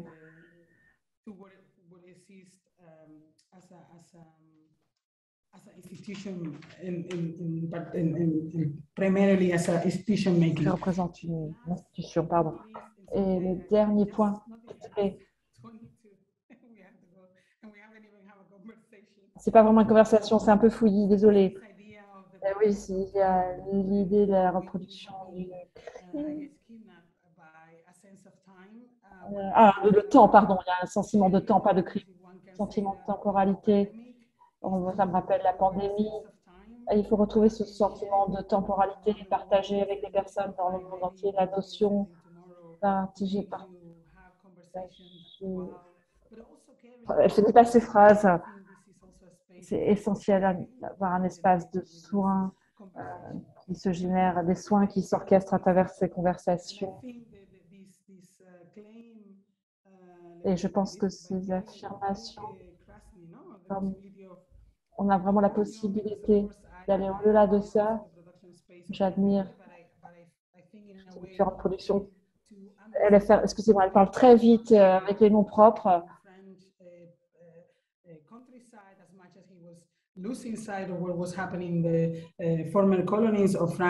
well. parle d'en fait des anciennes colonies françaises. À la production du temps, c'est ce qu'on fait actuellement. Excusez-moi, mais est-ce qu'elle peut parler lentement? C'est pas possible. Plus lentement, s'il vous plaît. Je pense que je vais m'arrêter là. Désolée. OK, donc euh, merci Elvira, évidemment. Il s'agit d'une grande, euh, grande responsabilité de, de, tirer tout le fil ensemble et puis de conceptualiser. C'était de donner un cadre conceptuel à, tant de sujets évoqués. Et, et pour ma part, j'aime bien cette notion d'animisme. Et euh, comment on peut élargir la, position radicale féministe. Euh, et quand, au fur et à mesure qu'on avance euh, vers cette notion d'animisme. Qu'est-ce que c'est un, féministe, un cuir dans ces espaces institutionnels artistiques C'est peut-être un sujet à, débattre euh, pour notre prochaine assemblée. Donc maintenant, c'est maintenant le, temps est venu pour la session Q et A Donc, si vous avez des commentaires ou des questions, des expériences ou des retours d'expérience que vous voudrez partager avec nos panélistes, euh, Manny, Quinn, Mercedes, Dominga euh, et Alvira. J'espère que j'ai bien prononcé euh, votre nom, euh, Mercedes Aspilicueta. Euh, donc, maintenant, peut-être, pour moi, enfin, moi, j'ai trouvé que c'était un moment très agréable de vous écouter. j'ai vraiment, j'ai oublié le fait qu'on est en, mode virtuel ici. Et il y a un empouvoirment ici. J'étais empowered, j'ai eu l'empouvoirment. Et c'est grâce à vos, à, vos remarques euh, très pertinentes et, très intéressantes, vos idées, vos observations,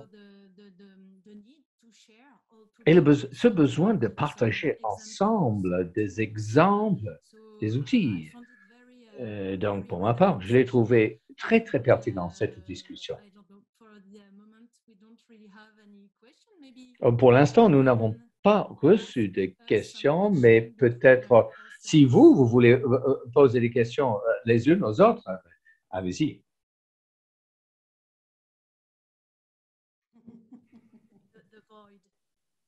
I think Tominga has a hand up.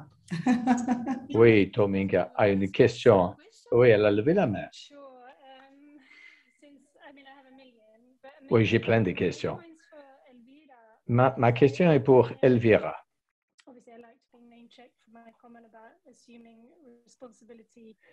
Il y a cette question d'assumer de, de, de, la responsabilité dans un musée. Et si je vous ai bien compris, euh, vous avez parlé, vous, vous, vous, assumez la responsabilité de la position, mais pas l'attente de la position. Je pense à, mon, cas personnel, mais au vôtre aussi, par exemple. Euh, quand vous êtes, vous vous trouvez directrice, vous pouvez changer les choses, vous pouvez impulser des changements. Euh, peut-être vous surproduisez des représentations, peut-être, peut-être inévitablement. Mais ma question, qu'est-ce que vous pensez de cela? Et vous avez le pouvoir, en fait, dans votre institution. Qu'est-ce que vous pensez de ça? Ah, OK, bon, OK. Merci pour cette question. Il y a deux aspects ici, en fait. Euh, bien entendu, par notre rapport en, tant que directrice, et nous travaillons de manière confortable dans nos positions. De toute ma vie, je réponds à un besoin ou une, sollicitation. Je dois changer ceci, je dois changer. Et dans les shows que je faisais avant, et j'intervenais dans une institution et je créais une plateforme pour, d'autres, pour que d'autres voix s'entendent. Et, et, et parfois, ce n'était pas spectaculaire, mais juste le fait que de simplement de dire je suis, j'y suis. Et, et maintenant, il y a un shift, un changement, en fait. Euh, car je suis femme et je suis noire. Et, ce que ça veut dire d'être directrice d'une grande institution.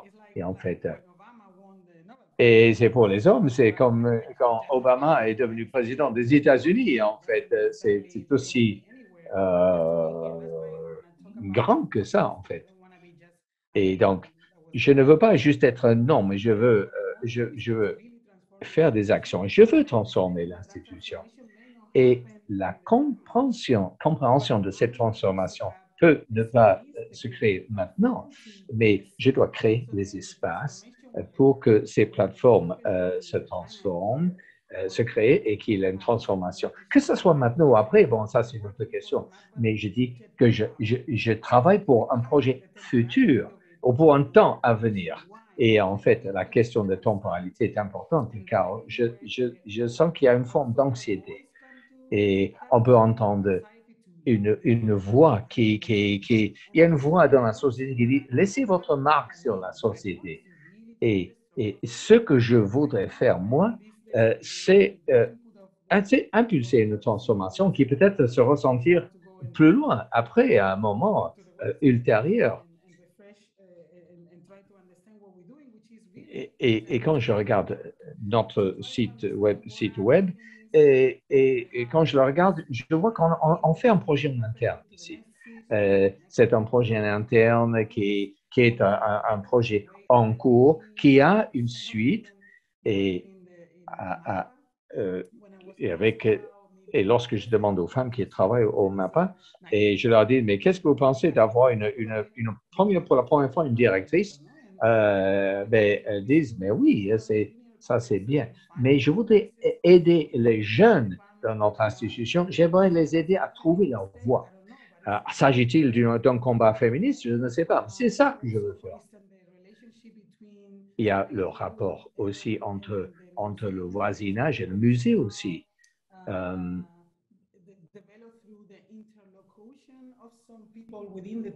ah, donc, il y, a une, il y a cette interaction pour moi qui est importante. Euh, il y a des voisins, par exemple, il y a des réseaux de, de, de voisins euh, euh, qui... Oui, il y, a des, il, y a, il y a certains voisins qui ne sont jamais venus au, au musée. Donc, pour moi, ça, c'est un projet de transformation que je dois, sur lequel je dois travailler. Et, et avec le projet que j'ai en cours, euh, c'est pas simplement de mettre du queer, du queerness dans, dans le mouvement, dans le projet, mais de, de, de, faire, de, faire quelque chose de plus large. Et en fait, et Carlo Martinez, par exemple, un ancien collègue, lorsqu'il lui disait, il, décrivait ce qu'il cherchait à faire, Carlos, il disait, eh bien, maintenant, j'ai travaillé avec un certain nombre d'institutions, mais, il faut que je travaille avec d'autres institutions. Il faut que j'élargisse mon travail. Et c'est ça que je, vois non seulement impulser une transformation euh, euh, institutionnelle, mais je voudrais une transformation au sein de l'équipe. Je voudrais que les membres de l'équipe puissent se transformer euh, eux-mêmes. Euh,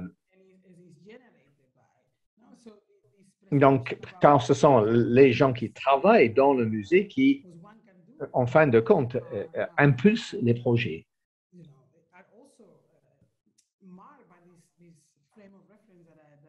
Et ça, c'est le cadre de référence pour moi, euh, auquel je fais référence.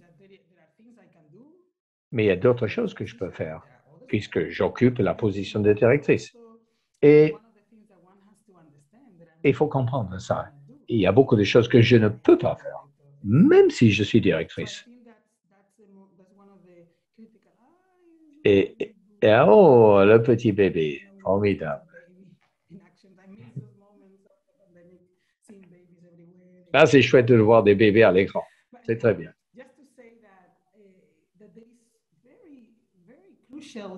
Ceci pour dire qu'il est, il est, il est important de comprendre que si on va impulser euh, un changement, et je crois qu'il y a deux choses dont il faut tenir compte. Les artistes, les collègues, sont dans des situations précaires. Et, dans notre, premier projet au musée, c'était de parler, euh, de, traiter les conditions du travail des artistes. On a, on a créé, rédigé un pacte où, en, passant en vue nos accords euh, d'institution, on essaie d'adopter un, langage, un discours plus doux euh, dans ce sens. Et, donc, il s'agit d'une coproduction, une production euh, collégiale, collaborative. Euh, et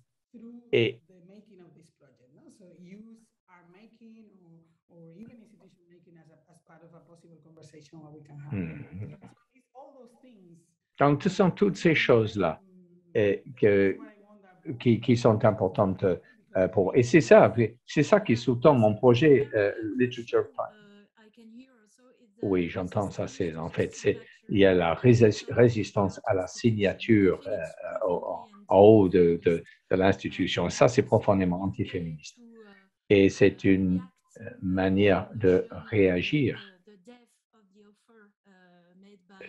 euh, contre la mort de l'auteur proposé par Foucault. Vous pouvez expérimenter ça au sein d'une institution.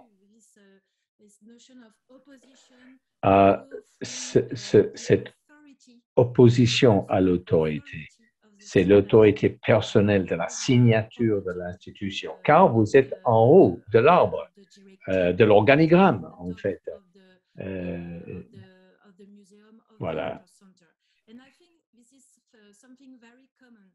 Et ça, c'est très fréquent. On, le voit fréquemment, en fait, euh, euh, dans la, dans la, dans la, dans l'écriture queer, euh, mais dans l'enseignement et dans l'enseignement de, de, de Marnie et, de Mercedes, et dans avec le programme de Tominga aussi. J'aimerais bien conclure avec cette idée résister à l'injonction institutionnelle. Et je vous remercie euh, euh, euh toutes. En fait, j'ai été euh, très ému de, de, de, de pouvoir modérer ce débat aujourd'hui. Et c'est la dernière session, en fait, de ce cycle de réunions. Et je vous souhaite vraiment tout, vraiment le, le, meilleur avenir qui soit. Et j'espère que je pourrai vous revoir euh, tous, toutes et tous euh, à l'avenir. Merci beaucoup. Merci. Merci, vraiment, ça a été formidable. Merci, merci.